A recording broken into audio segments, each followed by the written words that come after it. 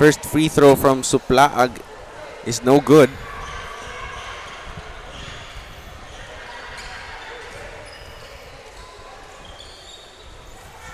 Second shot is also no good.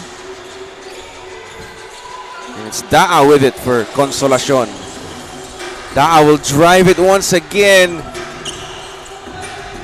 Almost gets his own miss. But a swarm of blue shirts there. Gets the rebound. Batukan. Crosses over. Aguilar. Pinoy steps his way inside pero hindi lang naipasok. Guerra Oh. on the offensive rebound. It's Oo, good. sayang. Daa leaking out but ball stays with Consolacion.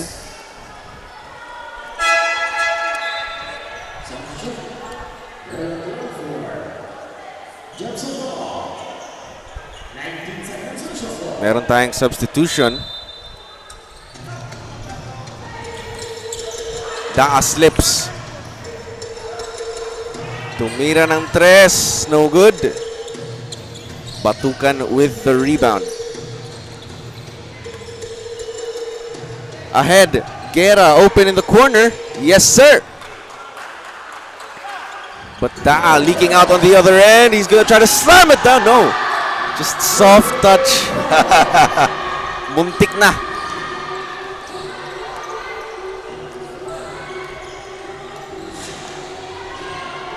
Batukan.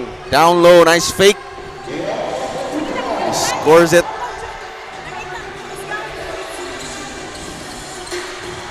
Gonzaga will fire a three from distance. Quick trigger there pero hindi lang naipasok. Guerra.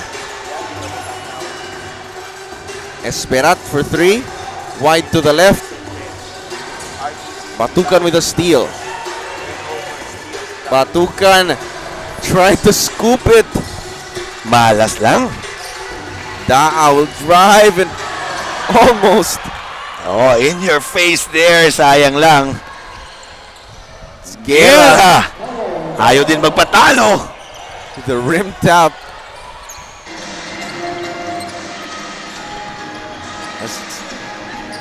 Dayday tumira ng tres. Yes, sir!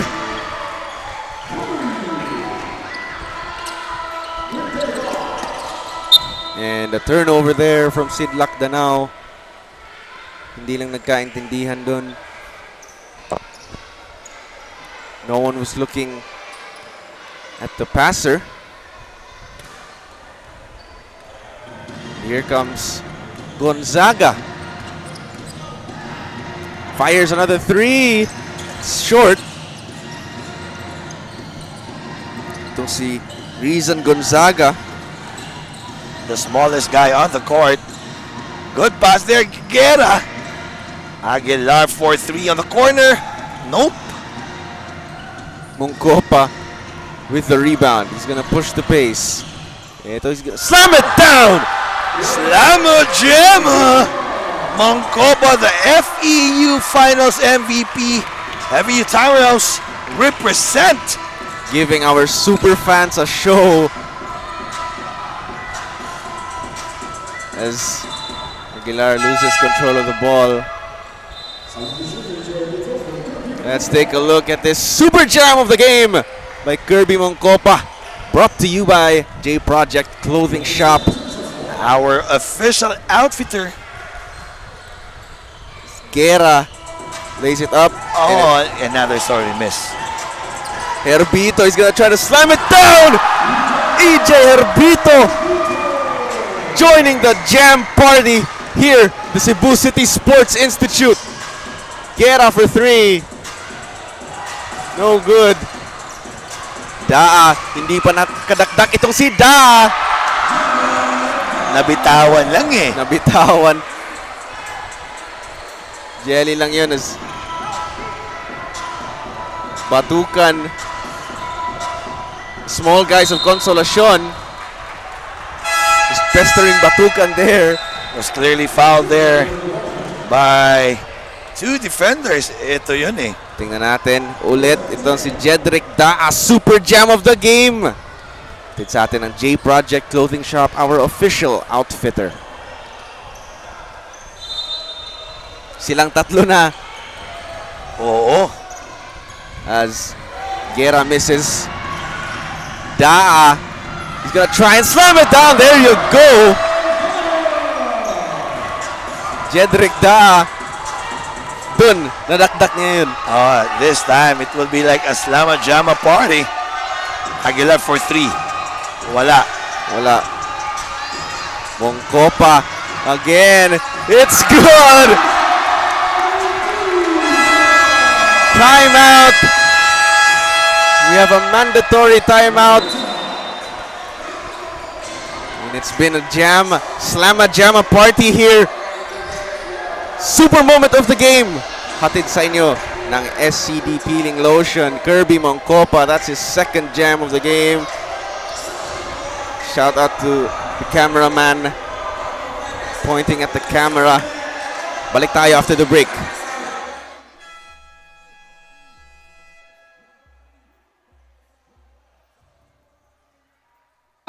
Fouled again.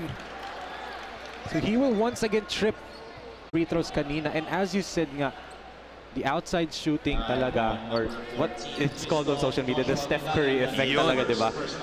Finn and Claw has already two possessions in this ballgame, parehong three-point shots nila, and they haven't made anything. And I cannot blame them for doing that because they are left open. So with that point naman dito sa ating uh, um, Taytay builders, they really need to defend inside. So they're doing well defending inside. They're not allowing the ball to get dumped inside. Yeah, they are Yes. all set to just shoot from the outside. So this could be one of their key things or their defensive strategies.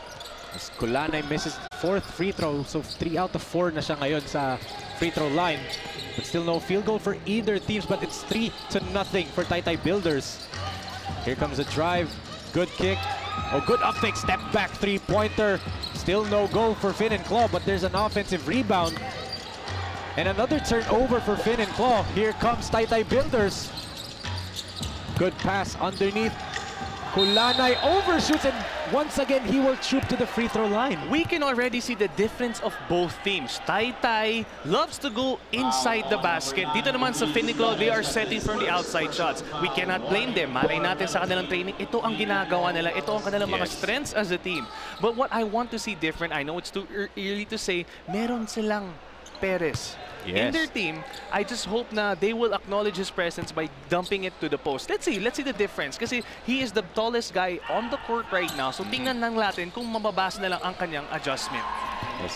Kulanay once again, Andre, one out of two from the free throw line. Pero all four points in this ball game have been by Carl Kulanay. Pero nasa free throw line lahat. So still no field goal for either team. But right here, it can change. Good drop pass.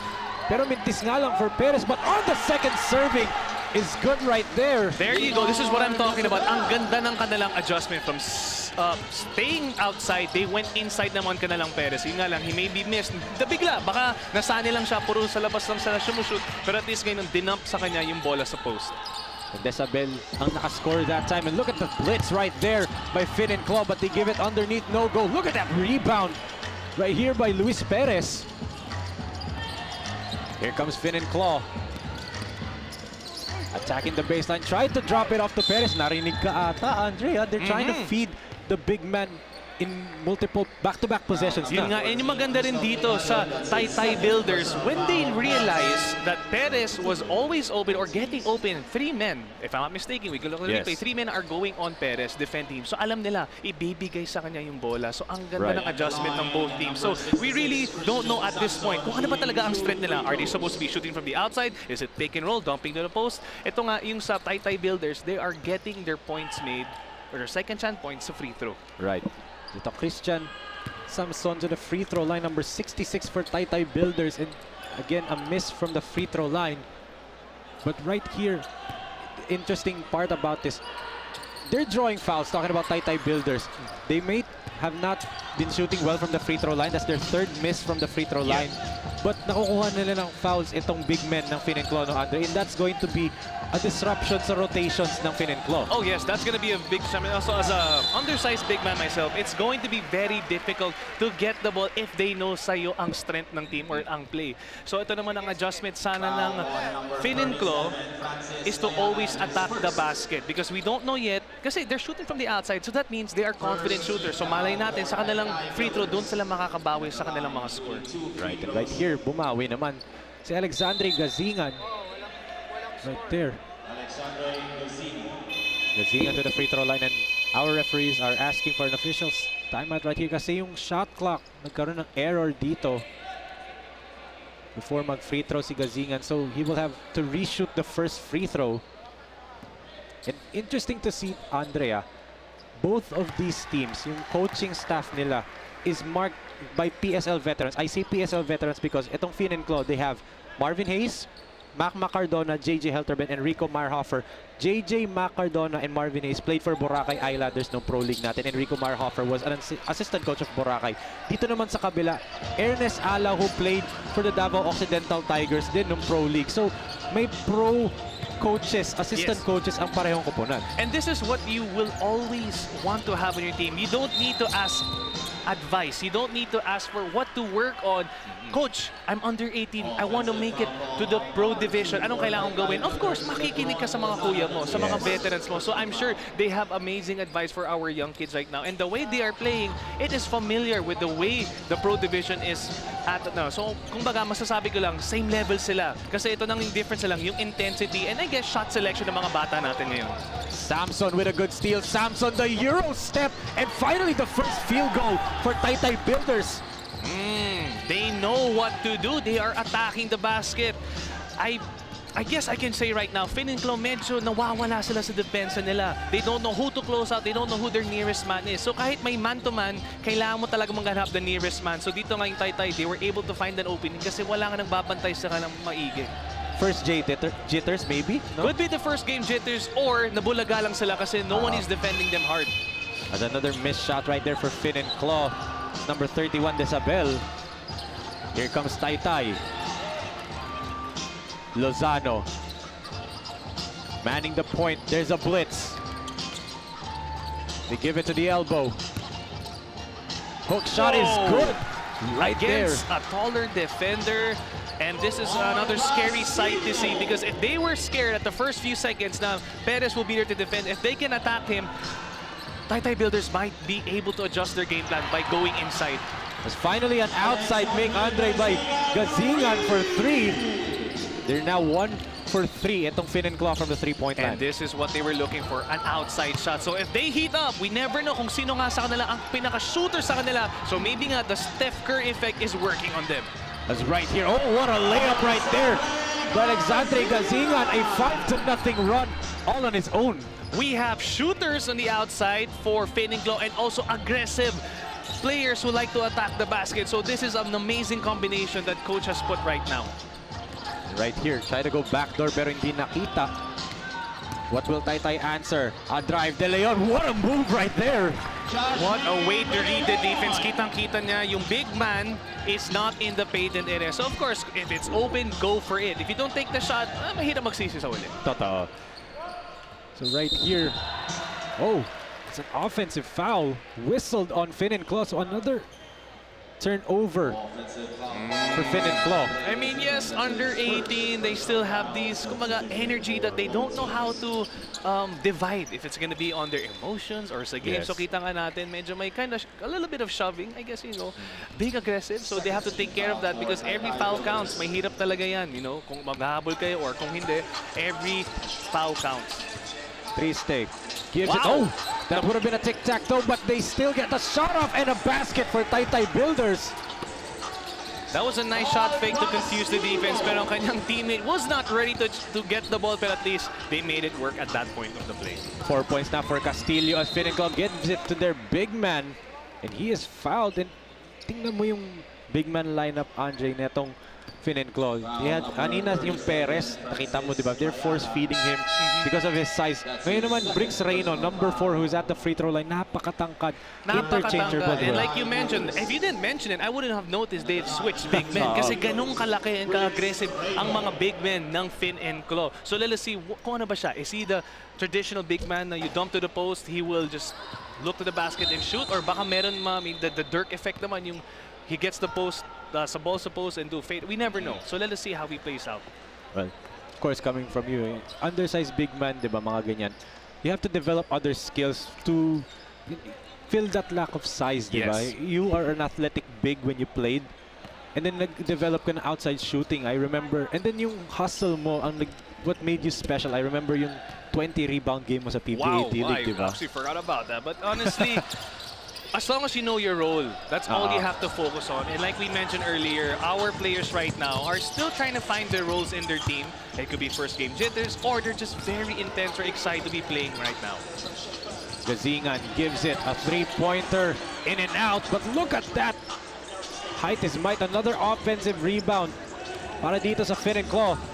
Gazingan, jumper, no good. And finally, De Leon clears it for Taytay Builders. Finn and Claw, no? Fast break, pull-up three. Back in the day, papagalitan ka ng coach. Pero at least what you like to see now, they can shoot, they have the green light. And that's the confidence the coach gives the players now. And it's really nice to be playing around coaches that gives you the green light and you have the freedom to play your game. And yun din naman na, freedom, di ba? Kasi alam ng coaches din dito sa 18 under na gustong magpakitang gilas nito mga players na to to have an opportunity to play college basketball as a miss by Gazingan once again. One for six na from the three-point arc. Etong Finn and Claw. Here comes Taytay. Triste. Oh, good steal. What good defense by Reyno by showing, and that's one of the great specialties that you can have as a big man by using your height and your length on the defensive end. But Taytay trying to use their speed. Early offense ang ginagawa nila dito. Oh, good pass underneath. Finding De Leon Goles with the dish. Mm-hmm. Finiclo needs to needs to talk to each other. Are they doing a zone? Are they doing a man? Are doing one to two? Because at this point, we don't know kung anong defense nila. Kaya yung Taytay Builders are able to find another way to get in the basket. As wala yung tip, but on the second serving, there's a foul. Reyno being lucky at this point in time because the Taytay Builders are not boxing out and that is very important. The little things matter. You have to box out the nearest man. At this point in time, kailangan nyo out ang pinakamalaki. Let's look at this good find. Right here, finding De Leon underneath for the easy layup. Yan ang ating super dime. Ating sa inyo ng J Project Clothing Shop. 11 to 9 ang ating score in favor of Taytay Builders. We will be right back. Solutions and Hotel Sogo.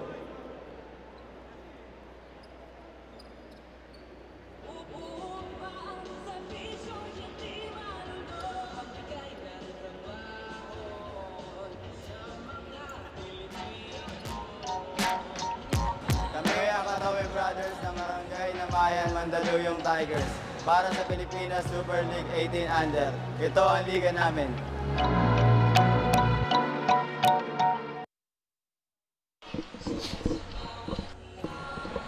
Back here inside the Caloocan Sports Complex as it's a two-point lead for Taytay Builders and PSL. It's powered by Converge Fiber X.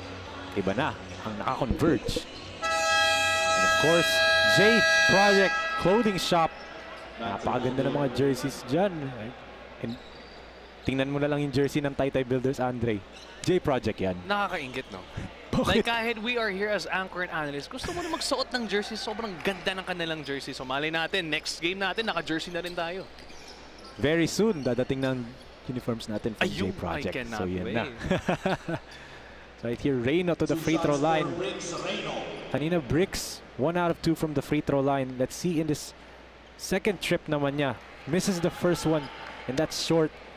And you can see, no, Andre, yung mga players ngayon, talagang may giggle factor pa. Mhm. Every time they get the ball, they're not looking to make a good play, uh, the right play in terms of passing. Mhm.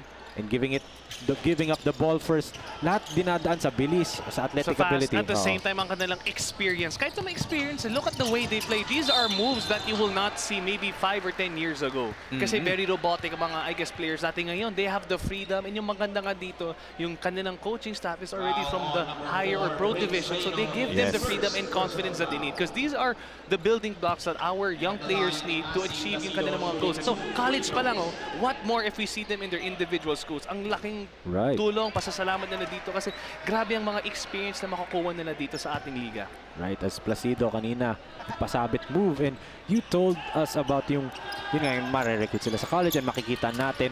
I just want to take note and we had three players debuted for FEU yesterday sa Wow! sa game nila na played for the PSL 21 under champions na Champ Visayas like champions Consolacion Sorok Weavers, Keaton Clyde Tabernal, Rojan Montemayor and Paulo Dalumpines all played for Consolacion na naglalaro sa Visayas. So that's the opportunity na mabigay bibigay ng PSL. As another foul is drawn right here. Is it before the buzzer? Referee says yes. So another chance at the free throw line for Finn Claw.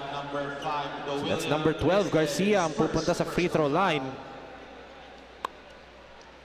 And like going back, yung maganda dito, I'm obvi- obviously when we watch ang ating ibang Division 21 o yung Pro Division, bihira lang tumawag ng foul. Dito kasi makita natin, we have to give it to them, ang kanilang intensity. Hindi Yes. lang sa offense, pati defense. These are fouls, yes, you could avoid, pero you gotta give them credit. Always look at the brighter side of things. They are being aggressive. So hopefully, sa ating uh, upcoming quarters, makaka-adjust sila dun.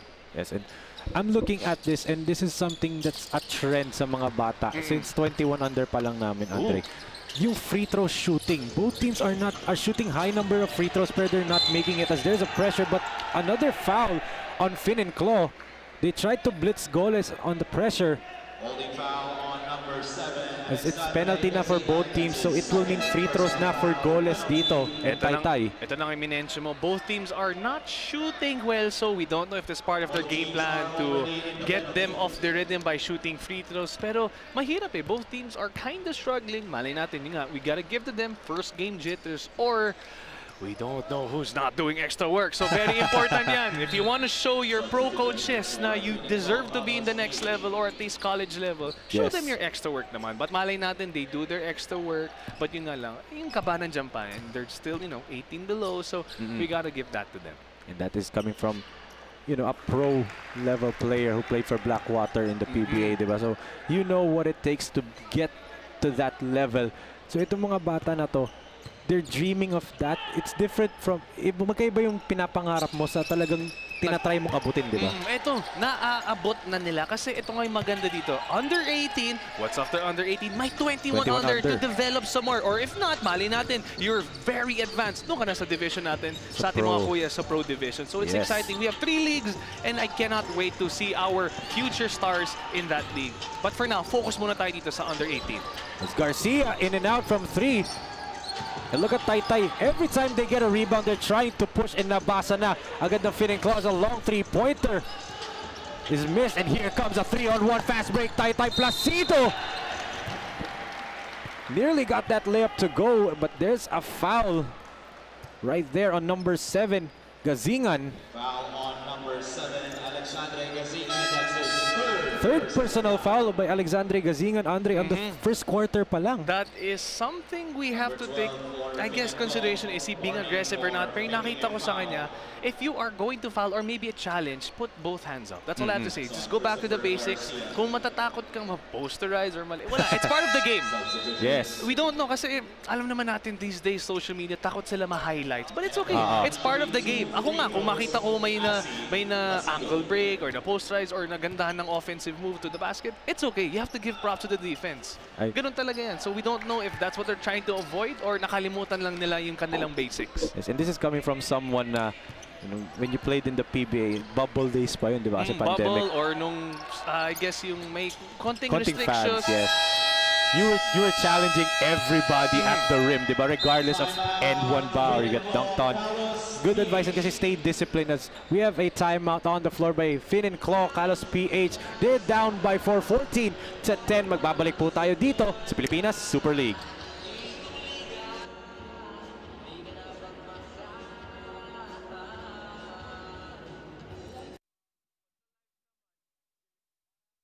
Super League 18 under. Ito ang liga ko.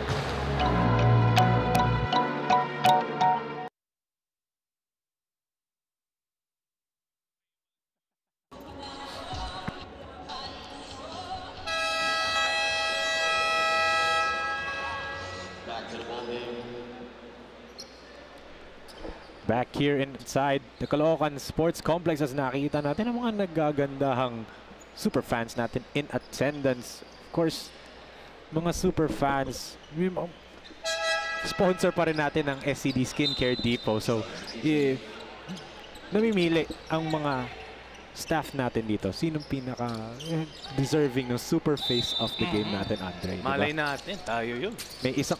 ah, Tayo? pareho, magtataya talaga ni Papa? Bear. ah. Kasi si Papa Bear, nung Pro Division pa niya, inaantay yung kanya sa Ay, hindi, SCD. wala na. Maghintay na lang siya matagal. Ako na yun. Ayaw ko maging mayabang, pero akin na yun. Sorry, Dad. As right here, another open three-pointer. In and out pa rin. That's the Jesus. He had all day to shoot. Here comes Tai Tai. They swing it over. Triste launches it from top of the key. No good pa rin.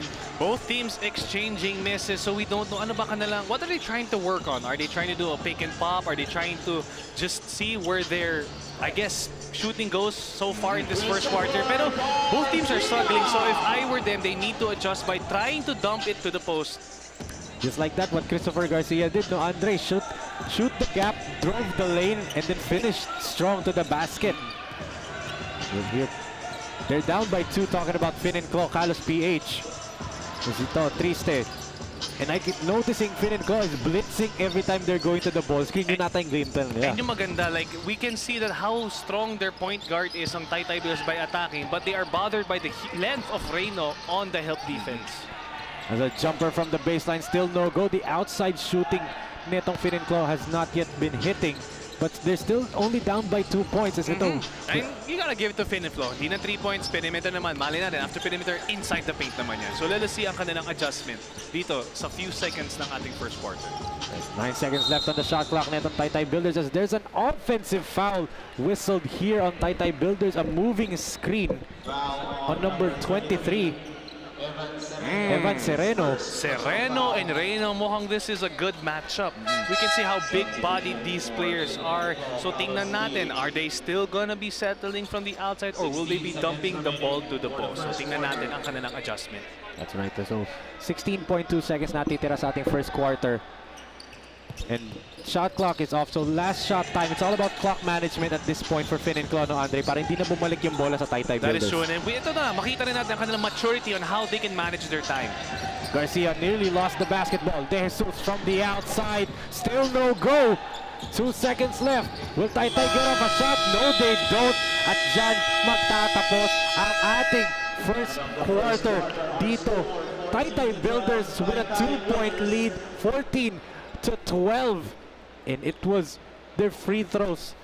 They were the ones who was shooting better from the free throw line in this ball game. That's why they're up by two, 14 to 12 against Finn and Claw. Carlos, PH. Babalik po tayo dito for the second quarter ng ating Pilipinas Super League 18 under NCR leg.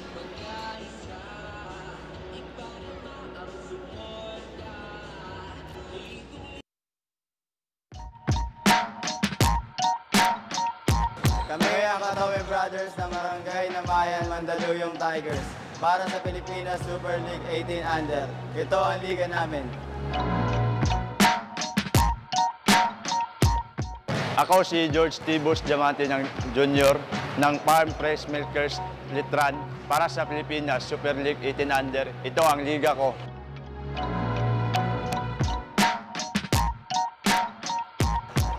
Ako si James Ross Corpus ng Barangay Namayan, Mandaluyong para sa Pilipinas Super League 18 Under. Ito ang liga ko.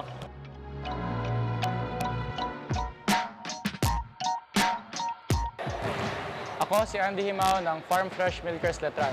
Para sa Pilipinas Super League 18 Under. Ito ang liga ko.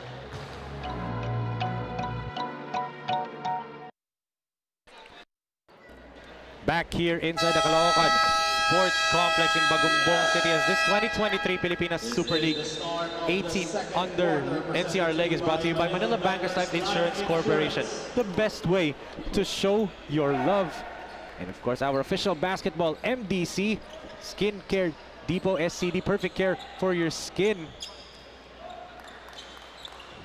A two-point lead for Taytay Builders right here as some new players in the floor for Finn and Claw. Let's see anong adjustments ang ginawa ng parehong coaches in their in in huddles nila. As a layup right there, in and out pa rin. Andun na for Finn and Claw, no, Andre? Mhm. Ito naman, like you mentioned, ang kanilang adjustment. Hopefully, they were able to talk about very basic shot selection. We can't, they can't just be shooting from the outside. If it's not going well for them, obviously there are other options to explore. You can drive to the basket, pick and roll, yeah, pick and pop to confuse the defense, but then or dump it to the post roller. So there are so many combinations and adjustments that you can be doing as a team. Pero yung nga lang, I'm sure these players just want to show what they are capable and made of. So malay natin, their shots are actually going in during their tune-up games or their practices. So tingnan natin ang kanilang mga adjustment ngayon. Oh, Tripster flying high for that layup. Looks like a miscommunications on the part of the bigs of Finn and Claw because usually when a guard gets from uh, comes out of the screen, naka hard show na dapat pero wala nag hard show so he was able to drive to the basket at ease. A turnover there for Tokawi. Here comes Taytay Builders. Another attack to the basket. And narinig ka ata ng Taytay Builders, Andre. Ay, naatake talaga nila yung basket pa ulit-ulit. And you can't tell who is bringing down the ball. Is he a guard or a big man? Kasi ang lalaki ng mga players ngayon. So we can already see it doesn't matter what position they are being given. Ang aggressive pa rin nila. And right here, I think there's a call correction right there. Great job by the head coach of Finn and Claw, Coach Jeric Bailen, for noticing nga na our referees pointed na bola dapat ng Finn and Claw pero binigay nila sa Taytay Builders. Well, we gotta see lang. Kasi grabe, ang bilis ng laro eh. Oo. Pati ako nako-confused na rin. So, it's good to have other, you know, other people seeing what's happening on the floor. Yes, and a good drive right there by this man number 29, Pierce Magno. Kanina yung layup niya niluwa underneath the basket. And this time, he attacks, he gets a foul. I think ito na yung adjustments nito nila Coach Jeric Bailen na atakihin nila na atake kasi in the first quarter no Andre, they kept on shooting outside jumpers. Mm, ito naman sa Claw, fine. Give it to them. They still, they are trying to attack the basket, but if they know they're gonna get a foul, they are good free throw shooters. So yung mga napalit ni coach, yung mga nasub ni coach inside, they are making up for the missed free throws they have. So it's gonna be hard if you are Taytay builders. Paano ka mag adjust Are you just gonna let them drive and hopefully miss or just do what you can to defend? So kung ma-foul man, sorry, they have to make it up with their second chance points free throw. Right here, still a two-point lead for Taytay Builders. Look at this, a full court press being applied here by Finn and Claw. Easily broken up by Taytay Builders. Bulante, three-pointer. No good, but an offensive rebound for the Builders. Baseline drive, still a miss. Another offensive rebound for Taytay. They still have the basketball. Triste. They go to the corner. Three-pointer, still no goal. Finally, Finn and Claw gets the basketball. Hmm, maybe one adjustment you can do if you know Reyno, a big man, closing up on you, shot fake and drive. There are little things you can adjust. So hopefully when they watch this again sa kanilang gameplay or game replay, they can see the adjustments you can do. Pero other than that, good shot selection pa rin. Oh, good drive right there with number 21. Itong si Jason Tokawi. Oh, good press break. Garcia layup, no go. Let us see what can Finn and Claw be doing. Will they settle for the outside or attack the basket? Kasi ang ganda ng kanilang adjustment. And they settle for an outside shot that time, but a miss. And that's a traveling violation.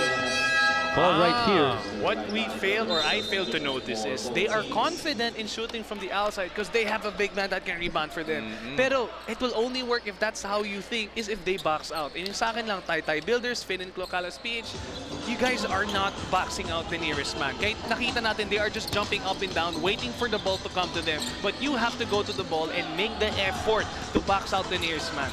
And I think that's going to be a trend in this entire tournament, no, Andre?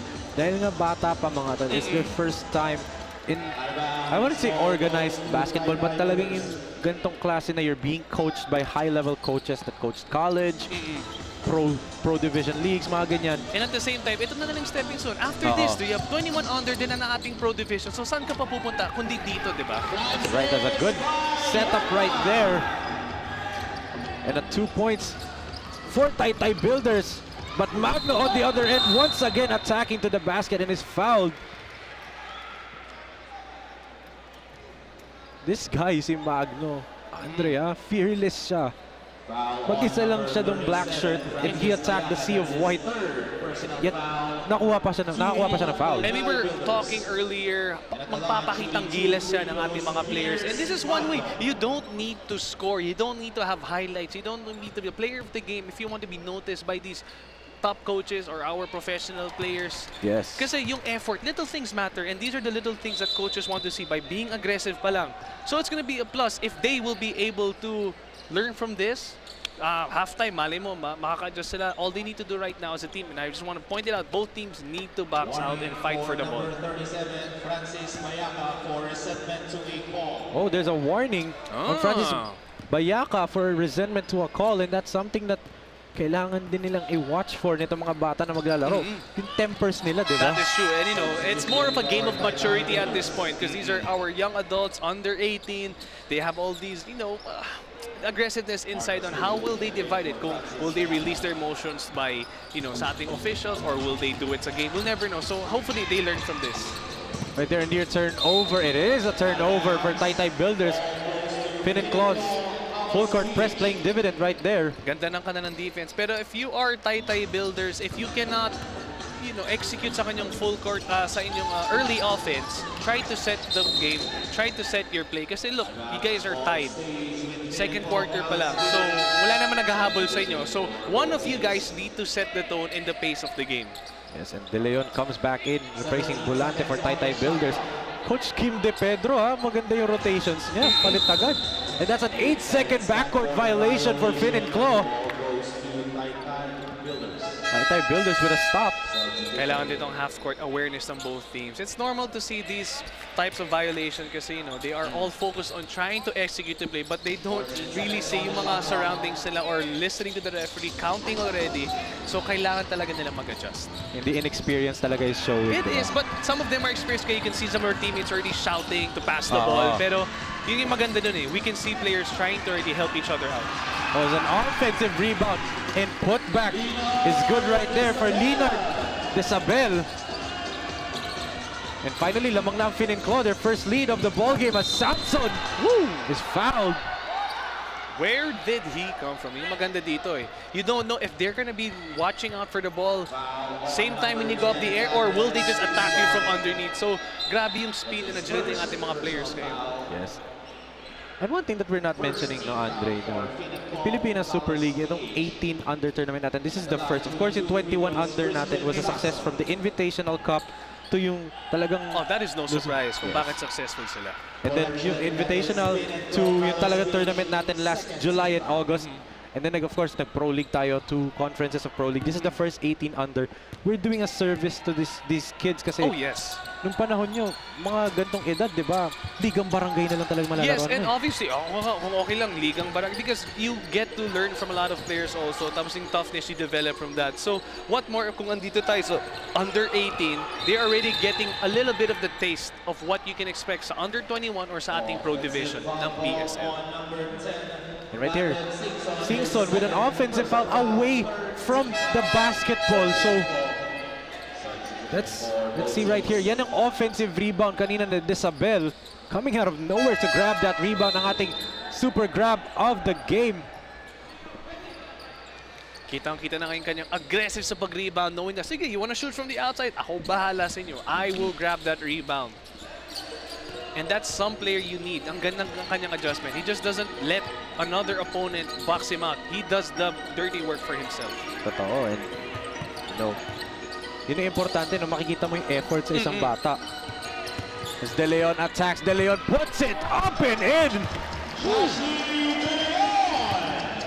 What a move right there by De Leon against two defenders. against Perez. And for Perez naman, he just has need to be a little bit earlier or outside the painted area to stop the drives. Pero all in all, great effort sa kanyang defense.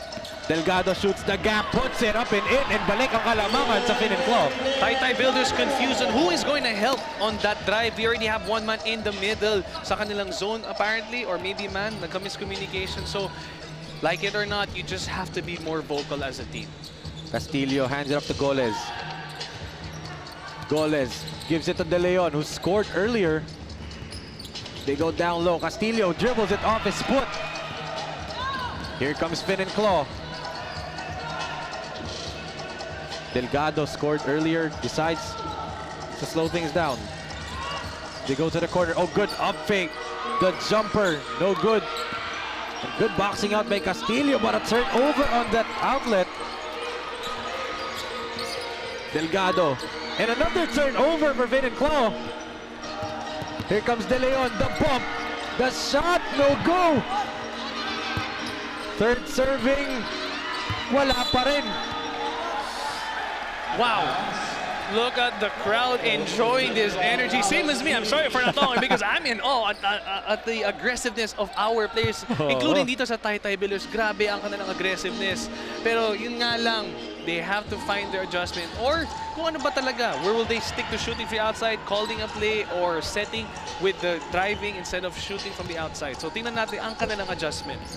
Yes, and ito, nagpapalitan na sila ng lead, Andre, at 21, 22 to 21 as good backdoor play executed there.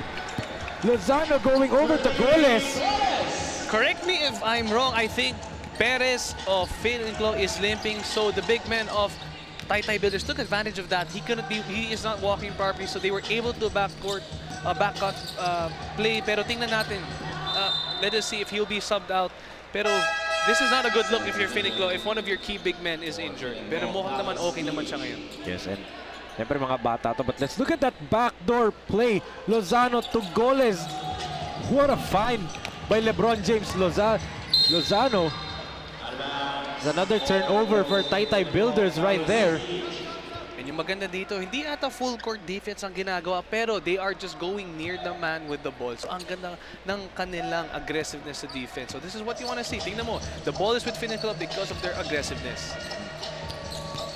Right here is a drive. Oh, what a move right there, floating in midair. Vidalion. That is a rare play to see for Finn and for setting from the outside. They are now attacking the basket and seeing their strengths as a team. Yet another turnover for Taytay Builders. Back-to-back turnovers na sa kanila, Andre. Back-to-back turnover. So this means it's either they call a timeout to make an adjustment or their maturity plays out and see kung anong kailangan nilang gawin sa next possession nila. Delgado the kick. Vidalion back to Delgado from top of the key. No good pa rin. That is a good adjustment for Finn and Claw. Instead of shooting at once once you get the ball, they are seeing ang kanilang defender to shot fake or drive. Pero yun nga lang, hindi pa rin nasushoot ang kanilang outside shot. So tingnan natin ang kanilang adjustment after this timeout. That's right, Andre. 24 to 23 ang ating score in favor of Finn and Claw.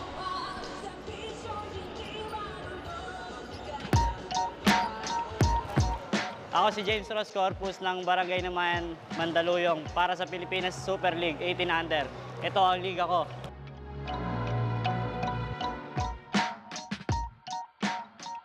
Nakita namin yung ano yung ganda ng sistema ng paliga, tsaka yung mga rules nila, tsaka natusunod lahat. Kasi nanonood ako ng game eh. Nung live, nanonood ako ng game natin ng PSL. Nakita ko yung, yung sistema ng tournament, tsaka para sa akin ha, para sa LDG maganda po. Kaya yung one reason ba't kami sumali. Yung ganda ng yung pat- patakaran ng tournament. Great. Mga, may mga dine-develop kasi kami sa mga bata, na mga bata sa Pampakan na gusto namin magtuloy-tuloy. Parang yung ginawa namin last year sa 21. Uh, Lalo sa 18, halos ano mga UAP at NC ang mga ano mga players na makakalaban. Nakaano naman yung mga bata pagdating na. uh, asahan, asahan talaga na uh, tutulungan yung team para dito sa PSL.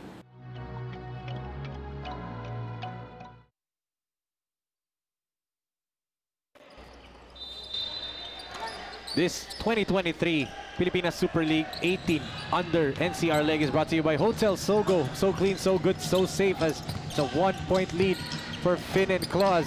A miss there by Goles. Taytay Builders. And here comes Finn and Claw. Off and running. Oh, good step through by Garcia Jr. Wow.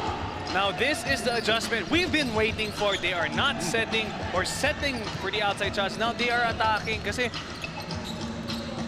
Taytay Builders are expecting them to not drive. Kaya wala silang tao sa loob. Kaya magandang uh, adjustment ang ginawa ng Finn and Claw at that point of the play. And again, this is the third turnover in the last two minutes for Taytay Builders. A turnover for Kulanay. Andre turnover story natin. 12 turnovers for Taytay Builders, 11 for Finn and Claw. Wow. I mean, we did not expect to have this many turnovers, but they gotta give it to them. They are still adjusting, so hopefully sa kanilang mga scouting report or when they watch the replays, ma-lesson ang kanilang mga errors sa games nila, sa upcoming games nila dito sa Under 18. And Perez got that basket, a good seal right there, and another steal for Claw, but they couldn't complete. It's a wild possession, Claw gets it. They go down low, oh! Players and bodies on the floor right there. Desabel sacrificing his body for that attack. If I were the coach or a pro coach or college coach, that is something you would like to see. Grabe kanyang aggressiveness, the way to sacrifice. Usually, we're used to having players sacrifice their bodies to defense. Pero dito, offense, no? He doesn't care. He just attacks the basket with all his might and he gets it with his second chance point. So what a way to reward himself. And actually, you'd like this stat line niya, Andrea, kasi Leonard Desabel, now 5 points, 5 rebounds na in this ball game in just 10 minutes of action in this first half. And I won't be surprised kung siya ang ating magiging player of the game. Pero I know it's early to say. Ah. Ang ganda kasi pinapakita. If you give your effort, if you know your role, good things will happen to you. Defense pa lang, bumabawi siya. Offensive rebounds, look what happens. He gets rewarded. And to think na ang ganda rin ng kanyang free throw shooting and it's a one way for him to get a good rest right now. And ma- maybe he'll be needed in our third quarter. Let's see right here as Goles gives it down low and a good setup job. Going over to Mark Castillo. Six points for Castillo in this ball game. Ah, Taytay Builders not shooting from the outside. No, both teams are attacking and shooting from the inside. So let us see kung anong adjustment nila. Will they defend better or will they just be more aggressive and kung ma-foul, ma-foul? You never know. But unfortunately, Placido turned the ball over. Miscommunication right there off of the rebound. So ball will remain with Finn and Claw. But we have a timeout on the floor. Finn and Claw up by 5.30 to 25. Right now, a minute and 50 seconds natitira sa ating second quarter. Timeout on the floor. We will be right back.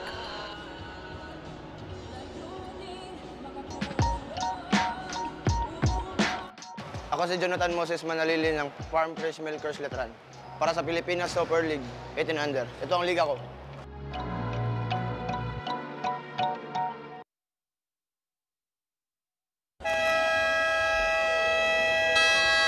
This 2023 Pilipinas Super League 18 under NCR leg is brought to you by Manila Bankers Life Insurance Corporation. The best way to show your love. Of course, we are showing love right now. And of course, this PSL 20, 18 under NCR leg is brought to you by Converge Fiber X. Of course, this is the best way to show our love to the youth na nakasuporta. Bibigyan natin sila ng opportunity, no, Andre, Mm-mm. through this tournament. this tournament and look, single round robin, if they kung gusto nila bumawi or kung magka-birthday man or what, they still have 21 under. Oh, oh. Tapos after 21 under, what's next? Pro they also have Pro League. So ang daming opportunities for them. So they don't have to, you know, worry about ang kanilang future because alagang-alaga sila sa ating Yes. PSL team. The miss there by Meyerhofer. Yes, that's the son of Rico Meyerhofer. Tayshawn Meyerhofer on the floor. Lozano, three-pointer. Still no go. Wala pa rin conversion from the three-point land. Itong Taytay Builders. Garcia. Vidalion, three-pointer. No go pa rin. So both teams a little bit hap trigger happy from the three-point land. I mean, okay na ang kanilang adjustment earlier but now they are falling in love again. Parang ex. Gusto mong balikan. Binabalikan nila ang kanilang mga errors but it's okay. Kasi mali mo, it's part of their play and look, it's okay. It's just their first game. It's okay to learn from this. But yung maganda nga dito, since we are on social media, may replay to. They can watch their games if they Yes. want to do scouting. And yun lang. It's a very interesting to see. As you saw earlier, you saw it right, mga super fans. Coach Kip De Pedro of Taytay Builders. Because that's a traveling violation. Now that's the 14th turnover of Taytay Builders. 14 turnover and it's just coming from I guess ka na lang rhythm Mm. kasi usually ang kalang tawag traveling but it's okay that happens and you know it's just a 5 point lead 5 point game so you know adjust na ng adjust ang importante sa kanila They go to the corner. And Oh! finally, the second triple is made for Finn and Claude. De Jesus lighting it up from three-point land. De Leon. Whoa! What a shot by De Leon! I will not be surprised if that is all over social media. What an amazing highlight play and an amazing way to get a good score by attacking and being aggressive.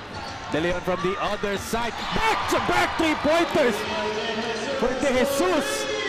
Ah, this might be the play or the player they have been looking for. This could be the play that they were designed for. So they have players from shooting from the outside. So what an adjustment. Goal is on the other end with a jelly layup and last shot time right here. Jesus, he check. No go. Meyerhofer with an offensive rebound. Here's a steal. De Leon. At hindi na umabot yung kanyang layup. A late rally from both of the teams, Andre, but it will be Finn and Claw ang magbabaon ng 7-point lead into the half.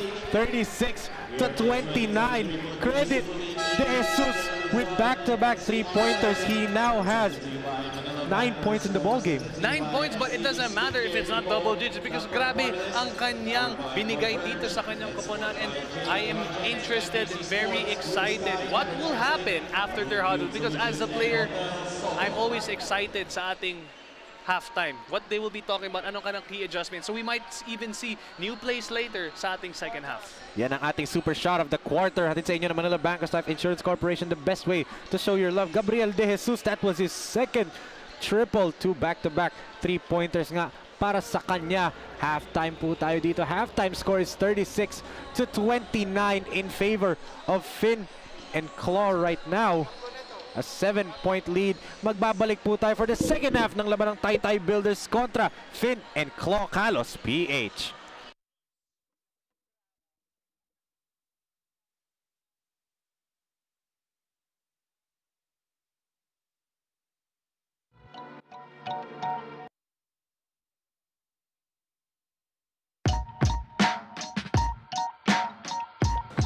Kami ang Katawin Brothers ng Barangay na Mayan Mandaluyong Tigers. Para sa Pilipinas Super League 18 Under. Ito ang liga namin.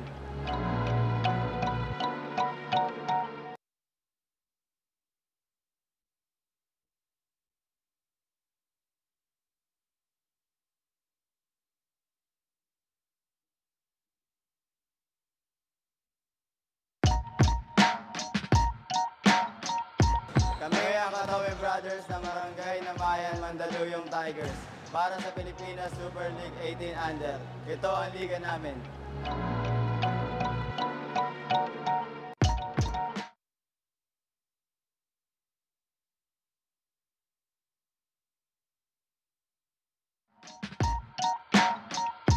Kami ang Katawin Brothers ng Barangay na Mayan Mandaluyong Tigers. Para sa Pilipinas Super League 18 Under. Ito ang liga namin. Definitely malaki in terms of organization lang. No? And then, of course, number two, yung, yung makakalaban. So, hindi po pwedeng sumali sa PSL nang hindi talaga ready. I think second, second tier na siya before going to the NC or UAP nang tingin namin sa PSL kasi. So, definitely, uh, mabigat na liga. Anyway, mga, may mga dime-develop kasi kami sa mga bata, na mga bata sa Pampakan na gusto namin magtuloy-tuloy. Parang yung ginawa namin last year sa 21. Uh, lalo sa 18, halos ano mga UAP at NC ang mga ano mga players na makakalaban. Naka ano naman yung mga bata pagdating Ah, asahan, asahan talaga na ah, tutulungan yung team para dito sa PSL.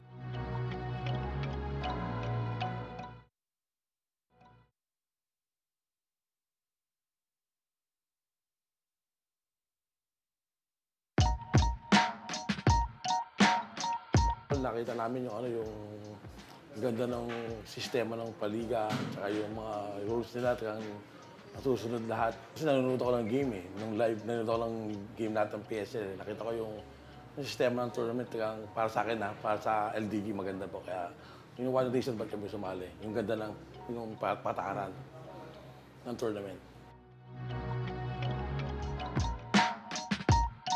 Full kami kay Boss Monching kasi nga ah, all out support siya sa mga bata na ma-expose yung mga talents nila and ine-expect namin yung matinding competition sa liga. Dahil nakita namin yung mga teams talagang malalakas din.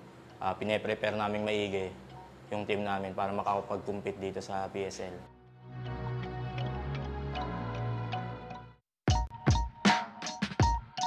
Full kami kay Boss Monching kasi nga ah, all out support siya sa mga bata na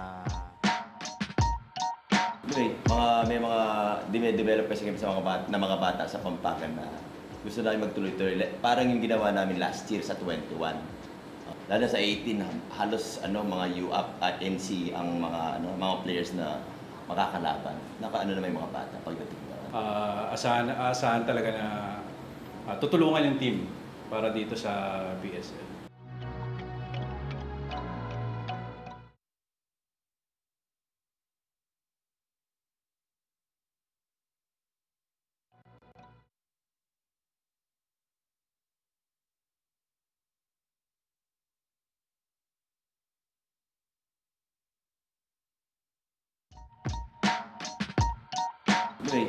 May mga dine-develop kasi kami sa mga bata, na mga bata sa Pampakan na gusto namin magtuloy-tuloy. Parang yung ginawa namin last year sa 21. Uh, Lalo sa 18, halos ano mga UAP at NC ang mga ano mga players na makakalaban. Nakaano naman yung mga bata pagdating na. Ah, asahan, asahan talaga na ah, tutulungan yung team para dito sa PSL.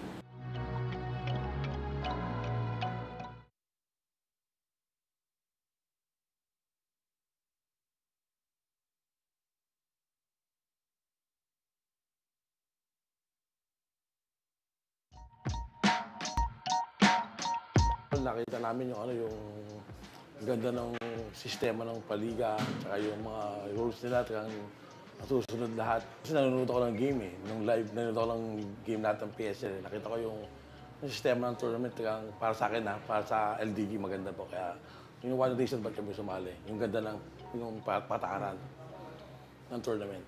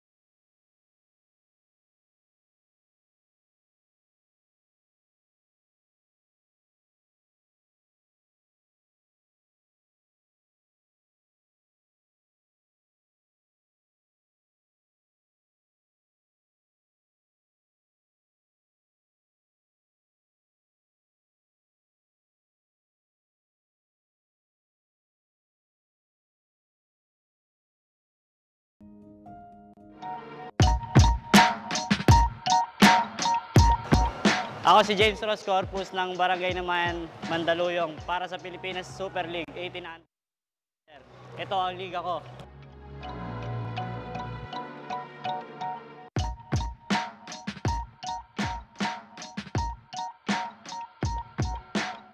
Ako si Jonathan Moses Manalili ng Farm Fresh Milkers Letran. Para sa Pilipinas Super League 18 under. Ito ang liga ko.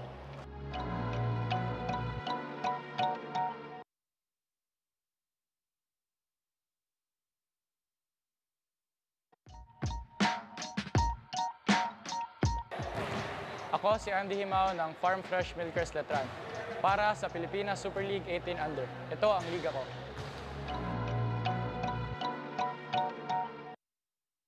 ma-expose yung mga talents nila and ine-expect namin yung matinding competition sa liga.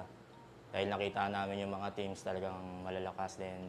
Uh, pine-prepare namin maigi yung team namin para makakapag-compete dito sa PSL.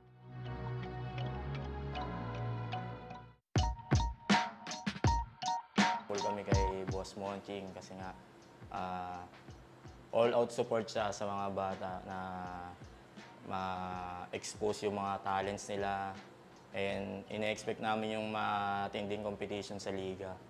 Dahil nakita namin yung mga teams talagang malalakas din. Uh, pine-prepare namin maigi yung team namin para makakapag-compete dito sa PSL.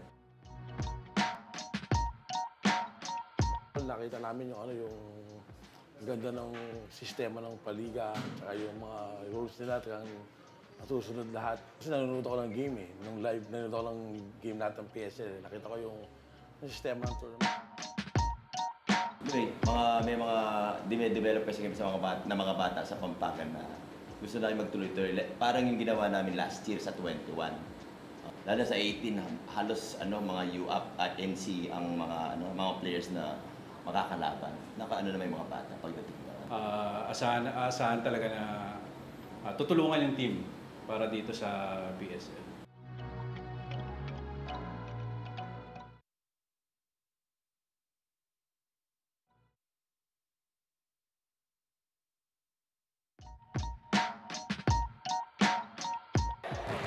Ako si Andy Himao ng Farm Fresh Milkers Letran para sa Pilipinas Super League 18 Under. Ito ang liga ko.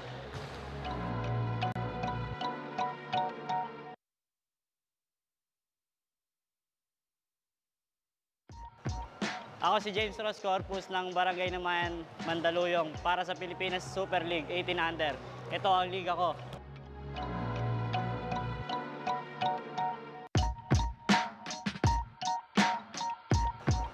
Ako si James Ross Corpus ng Barangay Namayan, Mandaluyong para sa Pilipinas Super League. Ako si Jonathan Moses Manalili ng Farm Fresh Milkers Letran para sa Pilipinas Super League 18 Under. Ito ang liga ko.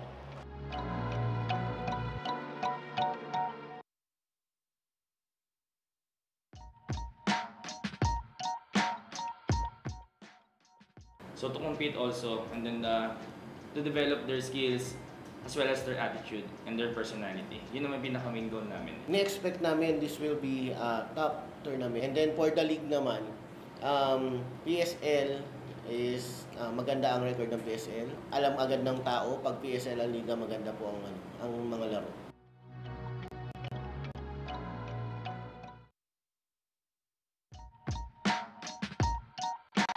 Well, right now is um, since si Boss Frank ng Letran Scores just won the, the NCAA championship, um, it's gonna be under Coach Allen Ricardo's champion team in Letran. Coach Basketball is gonna be there, which is always embedded with Fra- Boss Frank Klaus. So it's gonna be it's gonna be it's gonna be a good it's gonna be a good team to watch.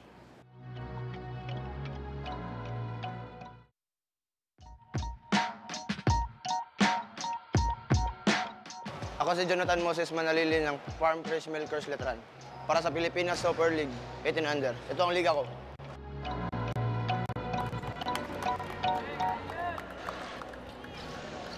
At nagbabalik tayo dito sa Caloocan Sports Complex as Finin Calos PH leading at the half 36 to 29 against Taytay Builders in this first game of the 2018 under NCR leg. Kami pa rin na inyong kasama Enzo Galarosa and Andre Parasin. Andre, what did you see from Finin Claw in that first half? Why are they leading? Well, first of all, I still cannot believe this is under 80. I still think it's the pro division kasi grabe ang kanilang aggressiveness and the way they are playing, the way they their maturity translates to the game. And ang masasabi ko lang sa ating first quarter, adjustments. There's nothing wrong Yes. with what they're doing. It's more of adjustments. What kind of adjustments am I talking about? I am talking about shot selections and of course, if they they're they're all hungry, they all want to grab the ball, box up. That's the only important thing you have to guys remember is shot selections and of course, listen to what your coach has to say. Yes, and that back-to-back triples ni Gabriel De Jesus for Finin Claw was mm-hmm. big to end the second half. That's why we're looking at a seven-point deficit right here. Sa ating halftime score 36 to 29 and leading the way for Finin Claw is Alexandre Gazingan, seven points. And all seven points niya first quarter lang. He only played six minutes dahil nga three fouls na siya, Andre. Mm, sayang. So what more, if he was more careful with his fouls, baka mas malaki pa ang magagawa niya. Pero that is okay because he has other teammates that are there to back him up. So yun yung maganda. Makikita natin ang kanilang adjustments. So I'm very excited. They had 10 minutes to talk in the dugout. Let us see kung ano ang pinag-usapan nila. Let's see how they translate it in this third quarter. Right there. They tried to set up De Jesus again from the corner. That's his favorite spot. But this time they go down low to Reyno. And another stop for Taytay Builders. Here comes Goles. He will challenge the defense. Overshoots the layup. An offensive rebound. The follow shot is good off the glass for Ang. Ah, this is gonna be, he's gonna be difficult to defend if he still develops that mid-range shot. Kasi usually big mans, when they get the rebound, they want to attack the basket. Pero ito, semi-hook or mid-range shot, pag the-master na yan, it's gonna be difficult to defend. Yes, and right here is a foul on Garcia's putback. Good positioning by the point guard nito Fininclo Andre, and that's what you want to see if you're the coach of Fininclo, no? Even your point guards are crashing for offensive rebounds. Mm, At hindi lang kasi usually nasanay tayo, oh, malaki ka, ikaw na mag-rebound. Pero ito, we can see, I, I know I'm very redundant, ang kanilang aggressiveness. Ah. Point guard man or big man, they all have the same energy that they want to bring out in today's game. Look at this fight for the basketball right here. That's a jump ball. That's how important getting the first win in this first game, no, Andre, for both of these teams. Talaga, no one's letting go of the No basketball. one is letting go, and it's all clean basketball. No one is fighting. No one is even arguing. It's just the way Ah. the game is played, and makikita natin ang kanilang maturity. Usually, if that happens, alam mo yung, ka, you know, init na, Init. nagagalit, pero Ah. wala. It, they all understand at this age, it is all part of the game. Yes, and a kickball right there by Kulanay on the inbound. So 14 second reset on the shot clock nito Fininclo. They go to Reyno, but that's another turnover. Kulanay goes to Goles, and that will be a walk-through layup for him. Pero still gotta give props sa ating Finn and Claw kasi they're still trying to dump the ball sa kanilang big man. So tingnan natin ang kanilang adjustment ulit. We can see their big man asking for the ball underneath sa painted area pero hindi siya napapansin. So all he has to do is be more vocal and position properly. Goles finds Kulanay and gets blocked by Meyerhofer. Fight for the ball. Meyerhofer, kahit alam mong walang pangalan or last name ang kanilang jersey, makikilala mo na kagad kung sino dyan si Meyerhofer because the way he is playing is just like it's for yung kanyang aggressiveness. He knows how to use his athleticism and length. Yes, and yung layup na yan ni Goles is our PSL super moment of the game. At sa inyo ng SCD. Skincare Depot, perfect care for your skin. That's a good tap right there by De Jesus. And you can see, Andre, no, itong Taytay Builders, they're more going to the paint, painted area, atake na atake. Itong Yes. Finn and Claw, inside outside eh, as they try to lob it down low to De Leon. There's a foul. I think it's on De Leon. Mm. And about two minutes has gone by and they are already having two, they already have two fouls. So they have to take care if they don't want to have their opponent again getting their second chance points sa ating free throw. Yes. And Coach Jeric Bailen opting not to play itong si Alexandre Gazingan pa rin. Of course, his team is playing well without him.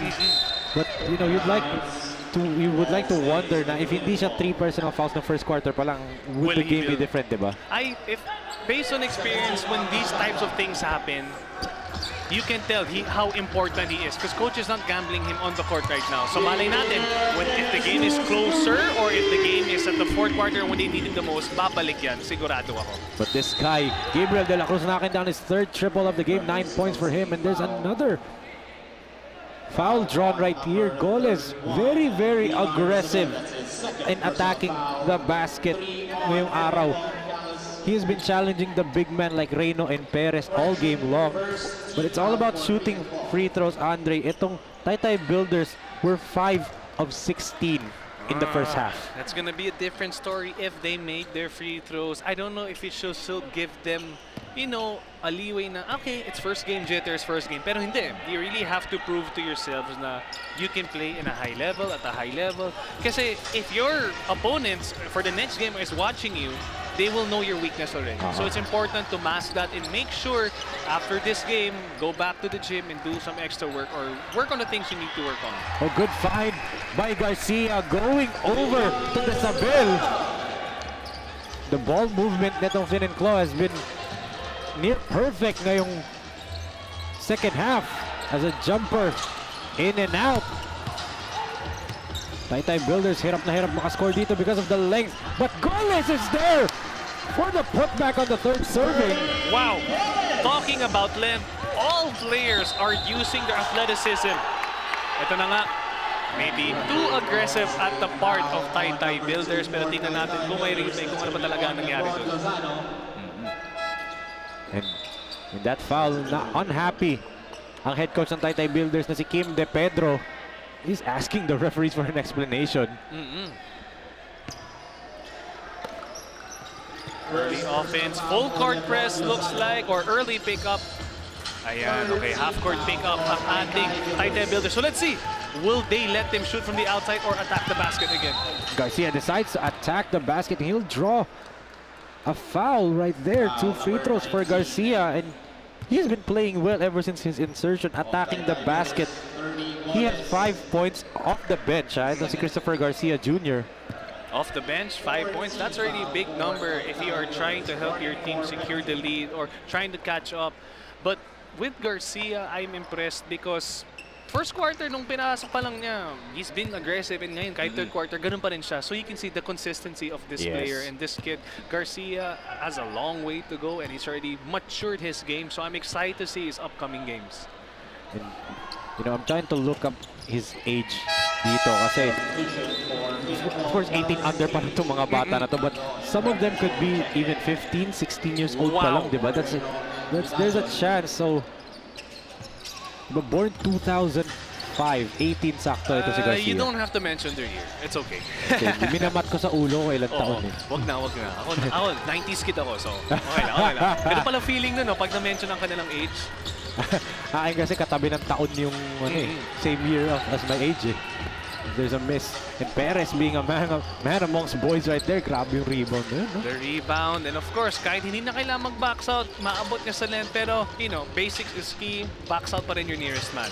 Magno tried to feed Perez there, pero natapik. Ah, what I like about Perez is the, you know, convention, nawawala sa ating mga big man. The way he, kung tawag baga wheel, you don't need to Yeah. position, you just have to go around or go to the opposite direction of the ball.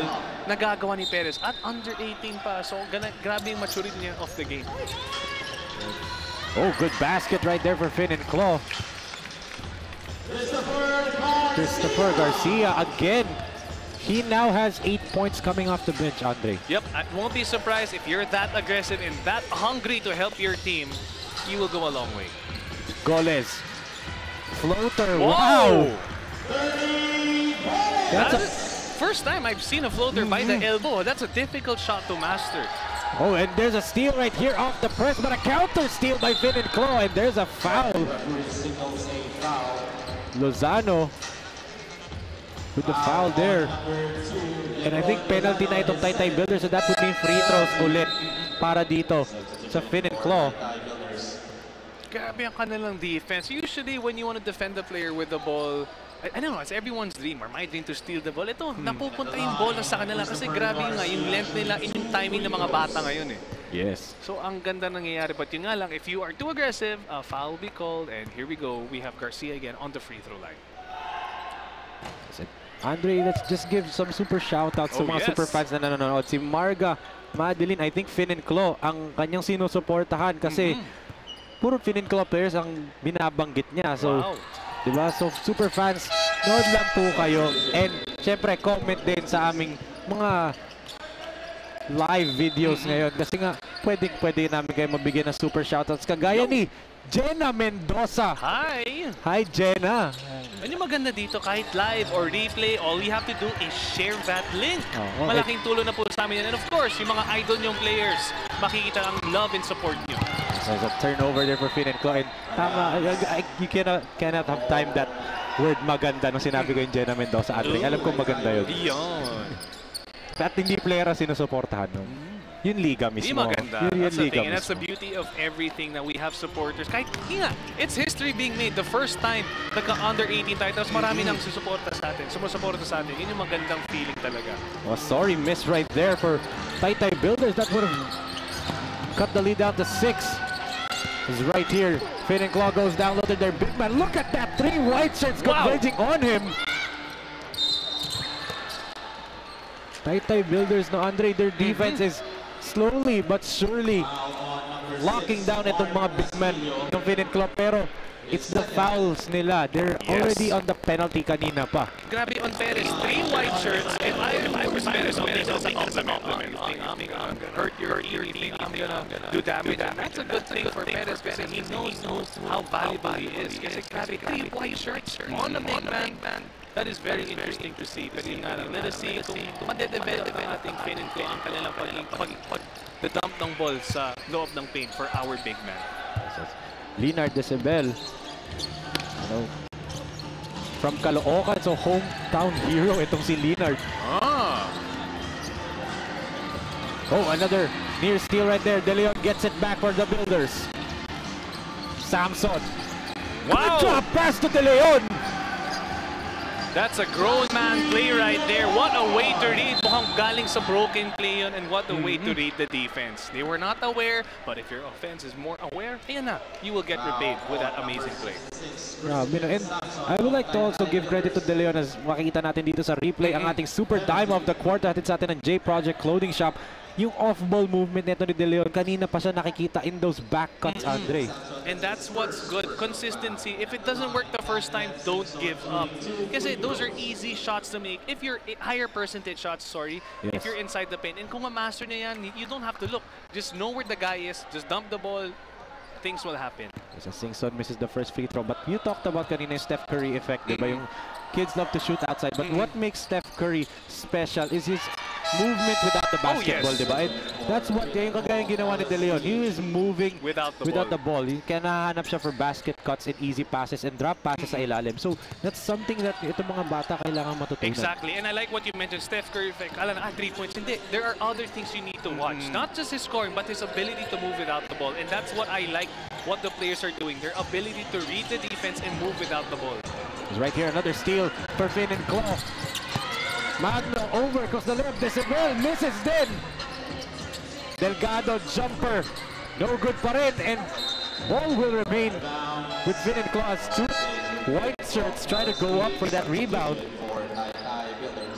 Like I mentioned earlier, it is nice to see pero talaga, talaga, I hear, they hear me. They have to have to look not to box out. Because that's the only way to control the ball, is to box out and locate the ball. Singson tried to drop it up to Leonard. Wala yan. Turnover, Goles again flying in midair. Here comes the Builders, only down by six points right now, 48 to 42, and that forces Coach Jerick to call a timeout right here. Nakikita natin, look at that. Goles tumingin pa sa likod and an off foot yung kanyang take-off doon. Napaka, napaganda pa niya yung play. Right hand, nope, left hand. Yes, and that's a highlight for Goles and the Builders, but they're still down by 6 right here, 48 to 42. Magbabalik tayo sa ating laro.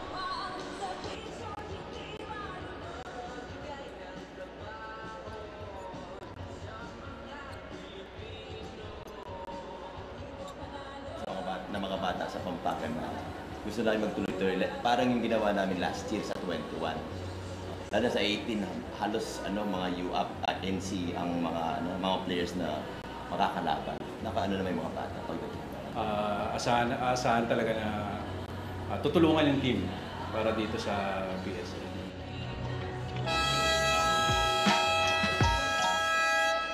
Back to the ball game. Yung yung kakalaban. So hindi po pwedeng sumali sa PSL nang hindi talaga ready. I think second second tier na siya before going to PSL kasi. So definitely uh, mabigat na liga.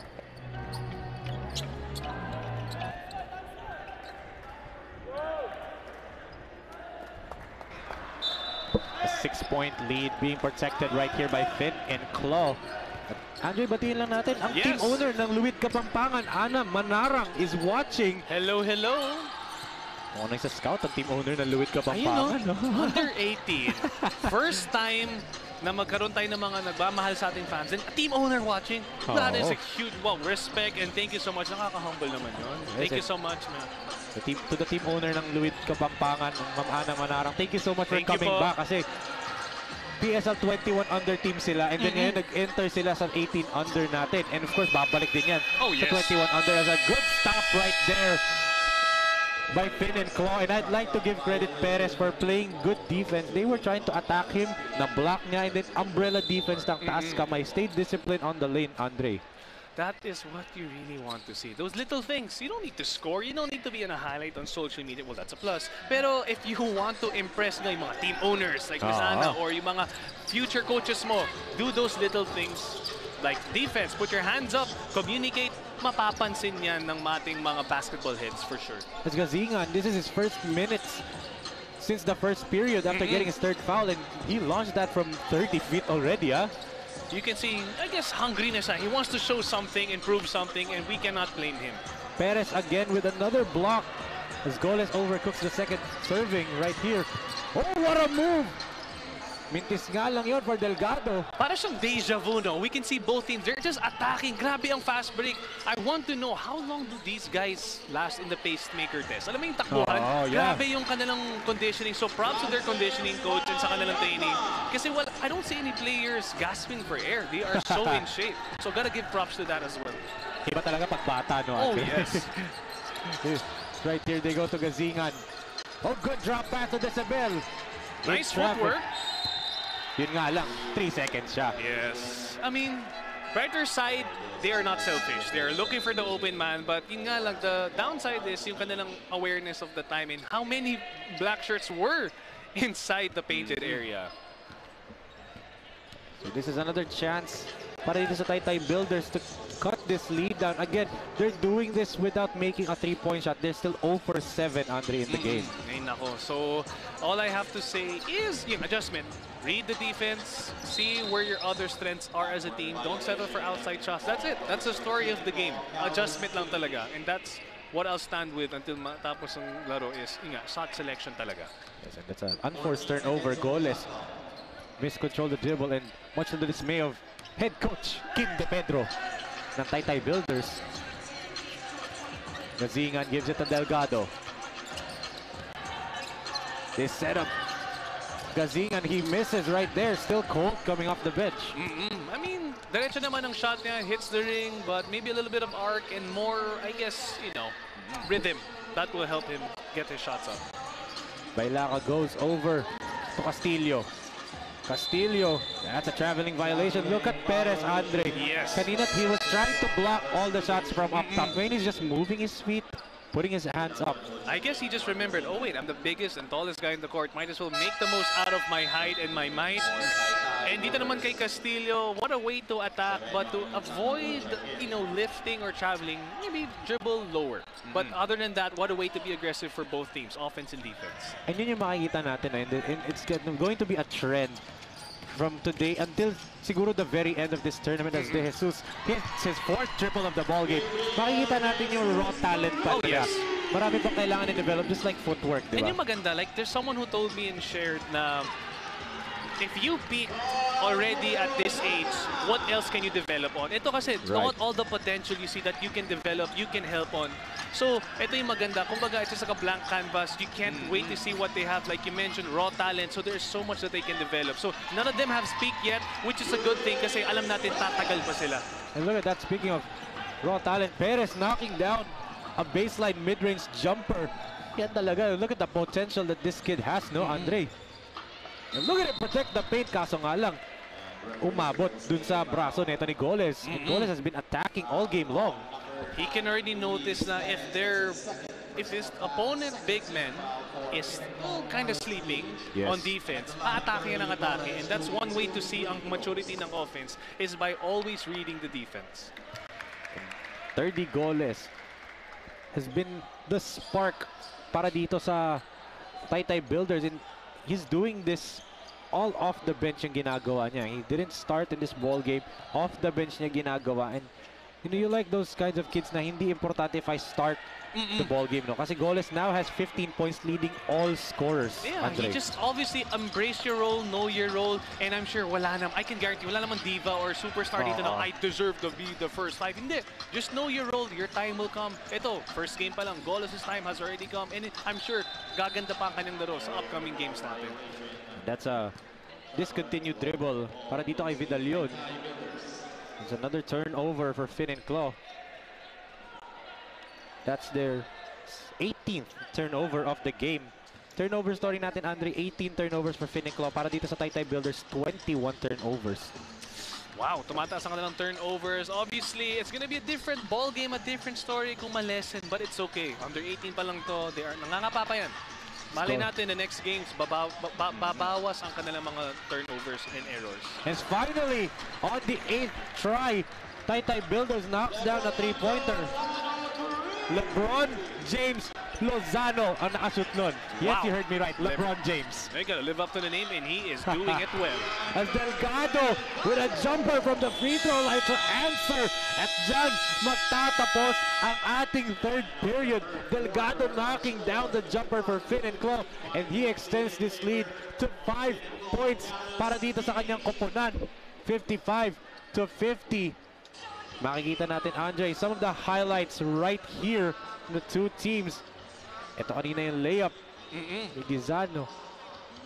And it was a layup line ng first half, but syempre, both teams adjusting. And it's time, it's winning time na talaga pagbabalik natin, Andre, because tapos na ang first three quarters. It's a five-point lead for Claw.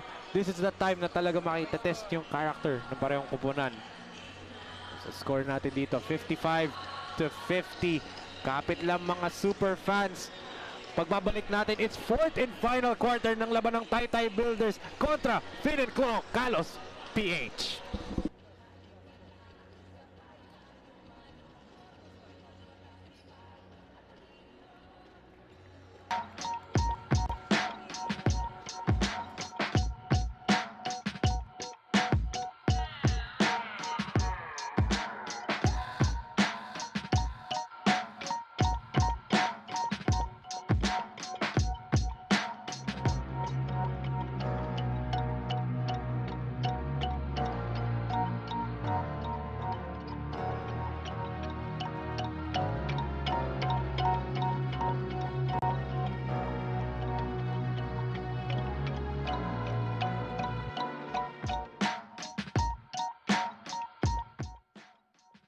So to compete also, and then uh, to develop their skills as well as their attitude and their personality. Yun naman pinaka main goal namin. Ni-expect namin this will be a top tournament. And then for the league naman, um, PSL is ah, maganda ang record ng PSL. Alam agad ng tao pag PSL ang liga maganda po ang,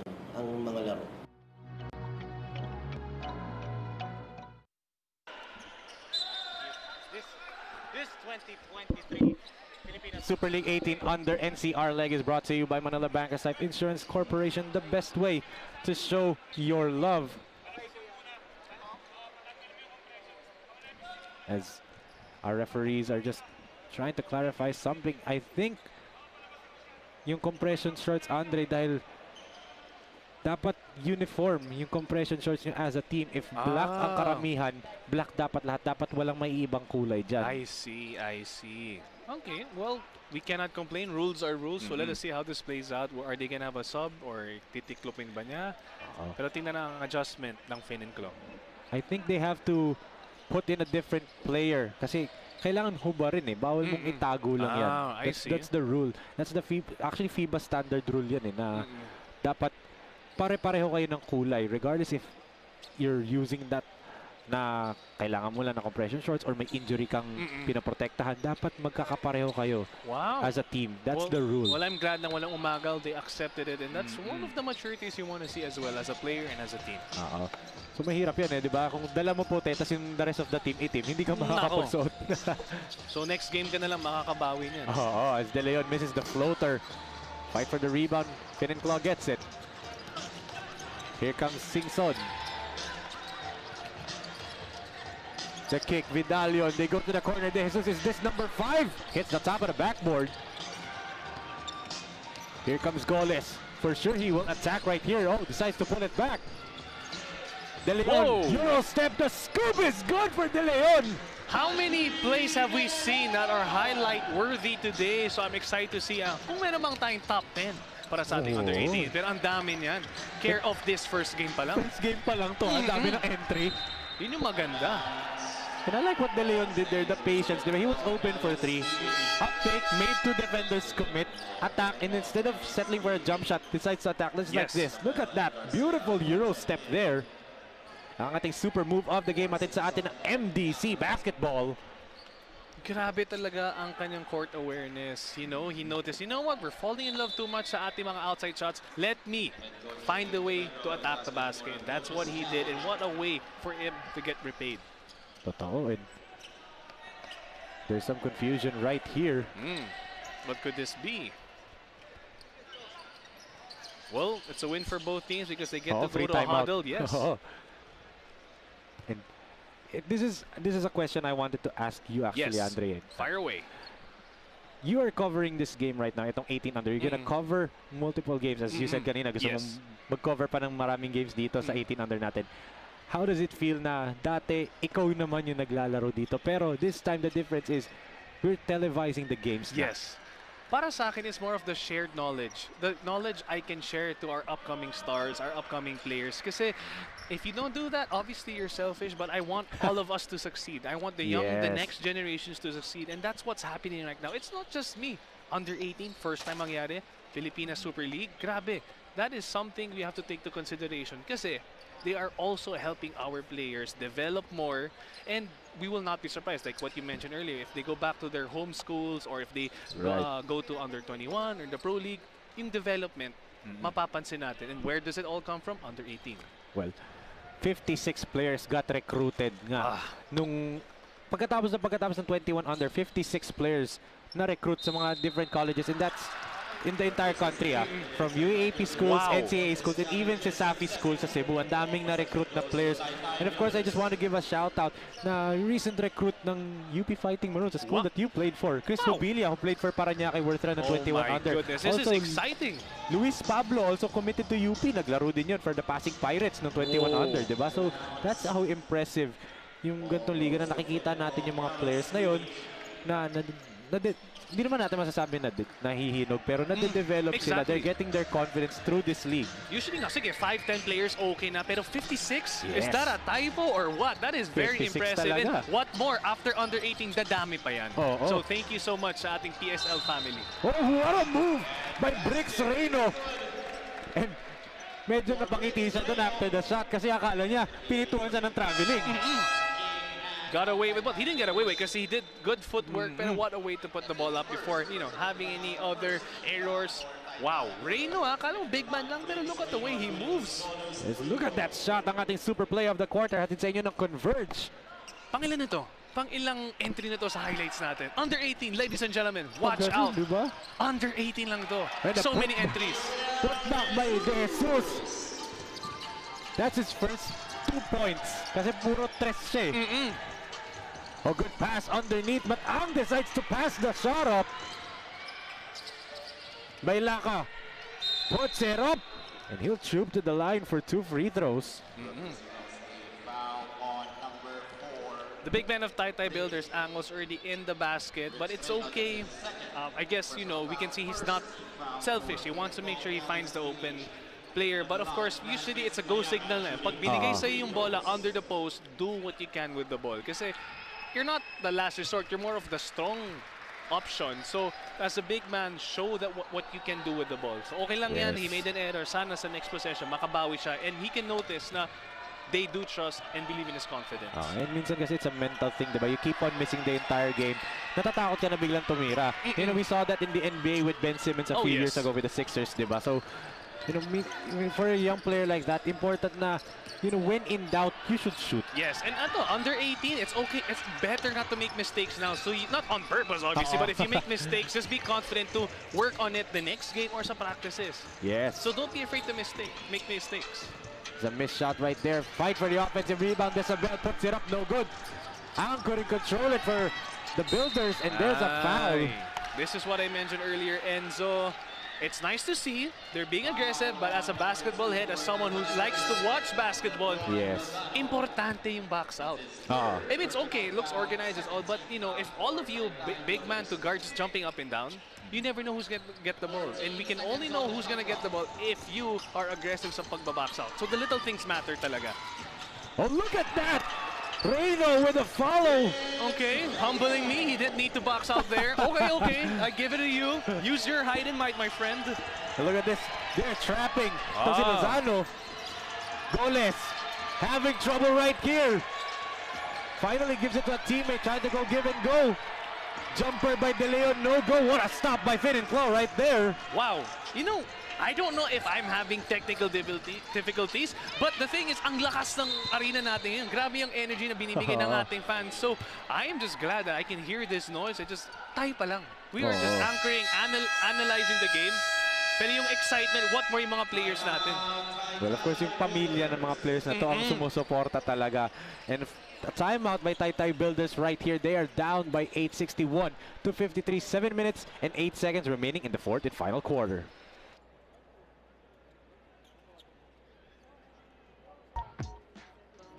So to compete also, and then uh, develop their skills as well as their attitude and their personality. Yun naman pinaka-main goal namin. Ni-expect namin this will be a top tournament. And then for the league naman, um, PSL is ah, maganda ang record ng PSL. Alam agad ng tao pag PSL ang liga maganda po ang, ano, ang mga laro.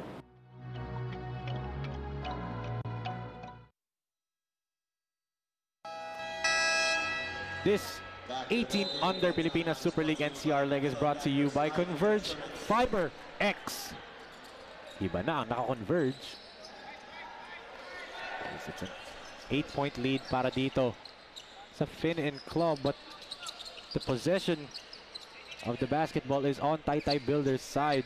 Let's see if they can make a run, Andre. No, kasi nakita natin kanina, they can make runs. They can make runs. It's just nga, shot selection and the confidence.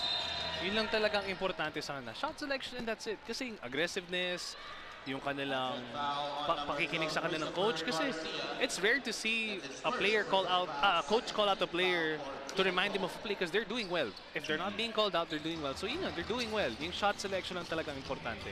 And I think the biggest improvement para dito sa Taytay Builders in this quarter, even though they're down, at this point nung third quarter, penalty na agad eh. They were in the penalty na so it meant a lot of free throws para dito sa Finn and Claw. Yes.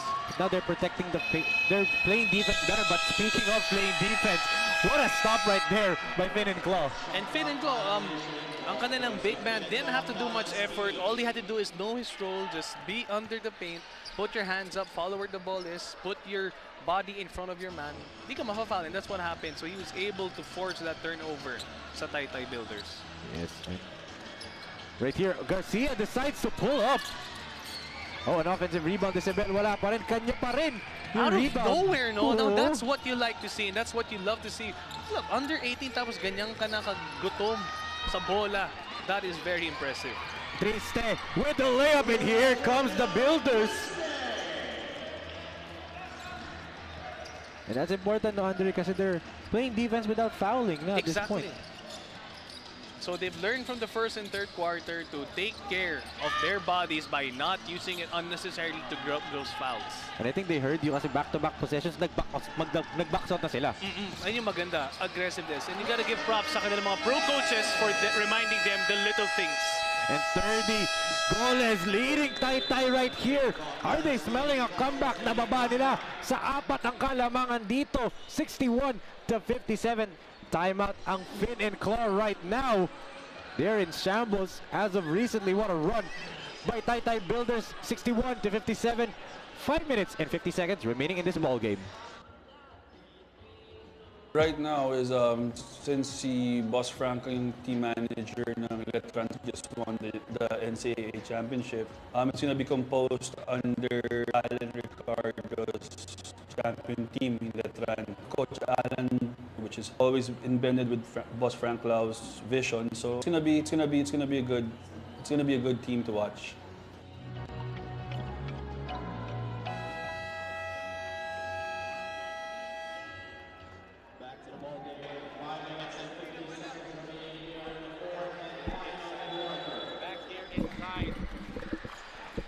Yan ang ating super moment of the game. Atid sa inyo ng SCD Skincare Depot. Perfect care for your skin. Triste with the layup right there.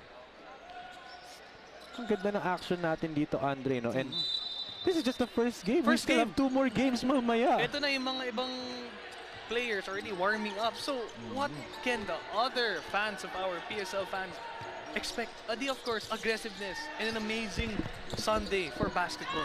Yes, a good block right there by De Leon. Here comes Goles. Goles.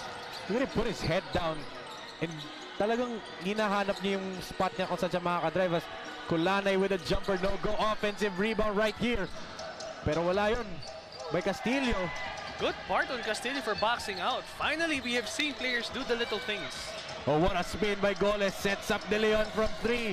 No good pa rin, but that's a pushing foul. I believe it's on Castillo. Ah, I mean, gotta get, okay, look at the brighter side. What a way to try to box out. At least he's putting his body kasi earlier wala. So bumabawi naman siya. So props Yes. to him. So kahit ng foul, at least you're adjusting sa uh-huh. defense niyo. It's the effort talaga that Yes. counts, no?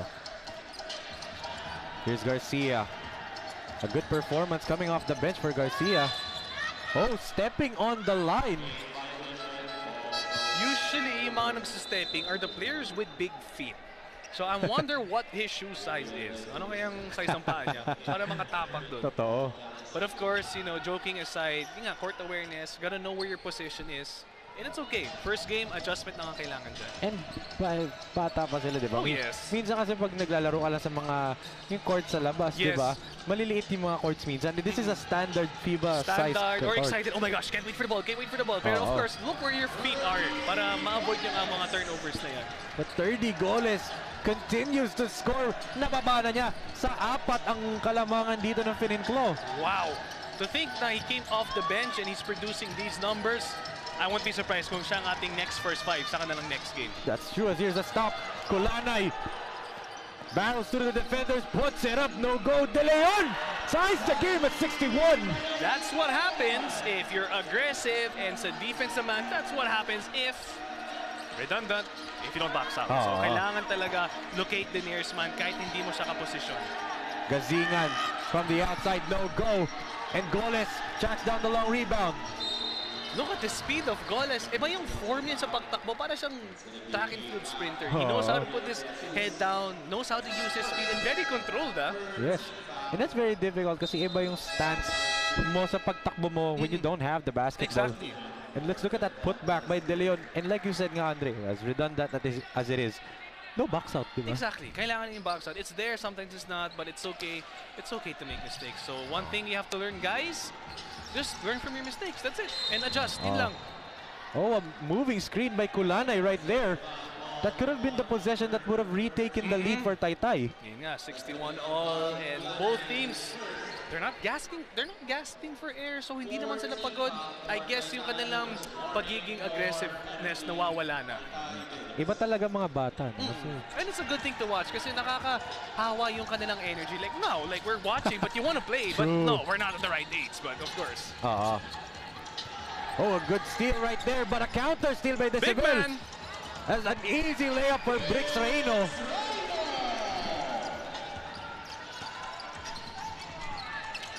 Triste. Garcia hounding him. They will reset. 12 seconds to shoot. We go to the outside. The spin move, Kulanay gets fouled.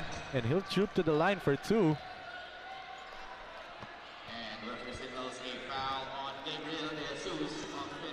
De Jesus ang napituhan ng foul.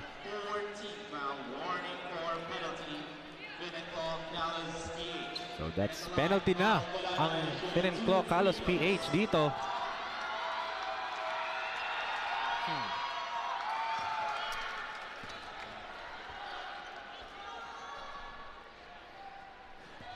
First free throw is a miss para dito kay Kulanay. Misses both. Crucial yun. Mm, looks like yung kaba andyan na but you never know kasi we really have to pay attention. Three minutes left. It's either you go all out or you slack off. Pero both teams are going all out so let us see ang kanilang adjustment. Vidalon goes to Garcia. Whoa! Oh, good jab step three-pointer! In and out, it was halfway down. From this position, ang ganda ng shot diretso, but yung nga lang, maybe a little bit of arc would have helped, pero okay lang, Ah. adjustment lang yan. Triste. Oh, good extra pass. Goles back to three-step. Corner three-pointer. It's good for Triste. Goles could have made that shot, could have drove, but he's unselfish. What a team player. To not be selfish, giving that extra pass and making the play look much better. Vidalon couldn't answer with the floater. De Leon with a big rebound. Two minutes and 15 seconds natitira sa ating laro. Triste hit a big three-pointer earlier and he's manning the point guard position right now. Triste, the spin, the shot. What a highlight for Triste right there. What a way to confuse your opponent kasi hindi mo alam, pick and pop ba, pick and roll. So they left the point guard open kaya ang ganda ng look niya attacking the basket. And De Jesus gets fouled Wow. on the three-point shot. Landing spot foul yan. Kahit walang replay, nakita naman natin may foul nga. Ito na ang replay natin, Enzo. Look at that Triste move. Wow. One, two, three black shirts all over him. The spin cycle masterclass yan ang ating super move of the game. Hatid sa atin ng MDC. And how about this, Andrea? The William Triste, 9 points, 5 rebounds off the bench. A 5 to nothing personal run in the last 30 seconds of the game. And usually, when it comes to the first games and knowing which players to combine with, ito yung importante. The crucial games is where you prove yourself to the coach. Yes. You, do you deserve the first five? Do you deserve to be the second five? Oo. So ito yung maganda. Yung crucial talaga to. Win or lose, it's one way to prove to your coach what you're capable of. Kasi importante talaga, kung mga crucial parts, you want to see who will step up. De Jesus hits all three free throws and he ties the game at 66. A minute and 51 seconds. First game pa lang tayo nito. Ang ganito na aganda. Championship na ba to? Hindi, no? Kasi It's just the first game. Opening lang natin And kanina eh. it's under 18 ha. So hindi pa to ang Pro League. So grabe ang kanilang maturity pati yung baka nila sa. Triste attacks. Puts the basket and an N1 opportunity. Taking matters into his own hands. Sige, may play tayo, may pick and roll, pick and pop. But hindi, he knows how to read the defense and these are the little things that your future coaches, future teams would like to see. And I like the way he cradled the basketball na nag ano split siya between two mm-hmm. defenders. What a way to confuse his defenders. And Triste now with 12 points off the bench. Tahimik siya kanina but in this fourth quarter, nagpapakitang gilas siya. ha? Silent but deadly. Oo. Wow. Eight points in this quarter alone for Triste but Decibel overcooks the layup. Reyno couldn't handle it. Decibel gets it back. Sobra na naman. My friends, don't forget to box out if you're listening. Yun lang, box out lang. Malaking tulong na yan. This is a big possession for the Builders. Triste, the man in this fourth quarter gives it to De Leon. Here we go. De Leon gives it down low. Oh, it's sobrang alang for Kulanay. And what a block right there by Reno. Timing ni Reyno, didn't have to jump. Wait, I'm actually taller than everyone. Let me use the length. He like punched that one out, no? He did. You can see the frustration of how much he wants to win. Goles. 20 points already for him. Mismatch. Goles pull up jumper. No good. And finally, a defensive stop for Viniclo. Gazingan puts on the accelerator pedal and there's a foul before the shot. Ooh, Enzo, both teams are in penalty. Am I right? Yes. Eto na. They have to be careful. We have 46 seconds left. But I think if you're Coach Kim De Pedro of Taytay Builders, Andre, you'd take that foul and two Yes. free throws nito ni Gazingan. Kasi that would have been a three-pointer for De Jesus. Exactly. Because we, we already know. It won't be a surprise. Kasi fast break eh. Some of them, or uh, most of them, are already pulling up from the outside. So what a way to cut it down. The Gazingan hits the first the first points now since the first period. Nine, nine points for him. The timeout whistled right here by Taytay Builders.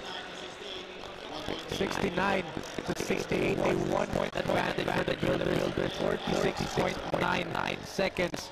And you gotta be wondering, no, Andre, anong mangyayari dito? sa huddle nitong Taytay Builders na you expect kasi magiging physical itong and Claw defense? Oh yes, I am guaranteeing sure. I am sure, I guarantee you, na kahit wala tayong makita ngayon, there's no like coverage of their huddle, they are talking about defense because as we all know, defense will translate to offense.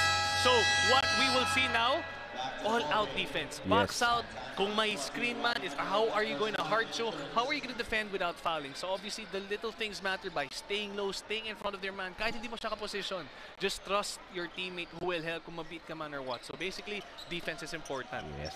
And communication din, di ba? Oh, you have to yes. know, are you gonna switch? Are you gonna stay home, di ba? Like all else, what's gonna happen kung mismatch? Will you let him shoot, let him drive so you can help? Yes. A lot can happen.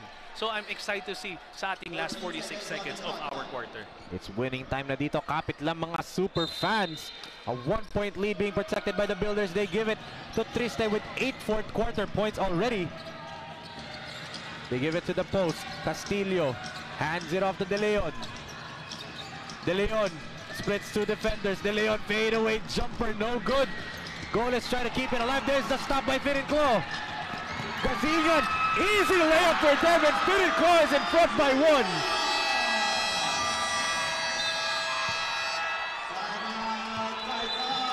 Like I said, what a good way to play defense. Kahit lumapit siya dun sa perimeter to make his, I guess, comfortable perimeter shot na defend well ng mm-hmm. Finn and Claw. So tingnan natin kung paano sila makakabawi sa mga next possessions nila. and Gazingan. Four straight points na para sa Finn and Claw. Two free throws kanina, this time a big layup. And we've said, iba siguro yung magiging score natin if hindi niya nakuha yung 3,000 the first quarter. Exactly. Pero yung maganda dito, like I said, I knew it na if your coach is not using you for a while, it's because he trusts you and he knows that you can do more if, when he needs you. And he needs him right now and yun ang nangyayari. He's able to produce numbers that he should have done without those fouls. Pero bumabawi naman siya. Ito yung maganda kay Gazingan. Yes, but right here is a crucial 26.5 seconds for both of these teams. Obviously, for Taytay Builders, any basket would get could get it in. Could get uh, any basket, di ba, could give them the lead. But itong Finn and Claw, they need a big stop right here. Ito na, anything can happen. What kind of inbound play? Who will they go to? Tingnan natin kung saan mapupunta ang kanilang first score. Gomez nearly turned it over. De Leon attacks. De Leon puts it up and in. And the Builders are back up by one. What a way para makabawi. Instead of setting for the outside of perimeter shot, they went inside this time. And that's the inexperience. Akala nila si Goles would step to the center line and matatawagan siya ng backward violation. But Goles with the composure to toss it over to De Leon. And look at that. De Leon with the attack and ating super player of the quarter hatid sa inyo ng Converge Fiber X. What a performance galing dito kay Jasly De Leon. 16 points, 8 rebounds off the bench and near double-double for him. Near double-double. Wow, what a way to show what you are made of. Crucial, ah. Oo. What a crucial. It's not even a championship game. Usually you see players like this step up above championship na. But look, it's just the first game. He's already making a statement made. And that's what you like to see kay De Leon. He is not scared. Like, yes, he missed the shot, pero makabawi. And yung mga gusto mo makita, you miss shots, you learn from it. Usually, you make mistakes, you learn sa next game. Pero ginawa niya na kagad at this game. And I just want to point this out, Andrea. Goles, Triste, and De Leon, all three came off the bench and they've combined for 48 points. Wow! Off the bench pa yun, ah. One more. And I won't be surprised if this will be the new lineup sa first five natin. But like you said, doesn't matter nga kung ano man ang uh, kung first five ka, second five, or third stringer, as long as you know your role as a team. Yes, and it's a crucial possession for Finn and Claw. This might decide the game. Oh! Good tap, but Gazingan gets it right back. 11 seconds to go. Gazingan way downtown. He had six seconds on the clock, but the shot clock was winding down. That's why he Exactly, fired that. talaga kung di magsabay ang shot clock sa game clock. But you can't blame him. He need to do that Hail Mary shot agad Mm-hmm. to avoid any error. But yung anong nangyari, he took his chances and that's what happens. Six seconds na titira, and like you said nga, kasi nga, shot clock was winding down. But right here, they need a stop. Goles is free.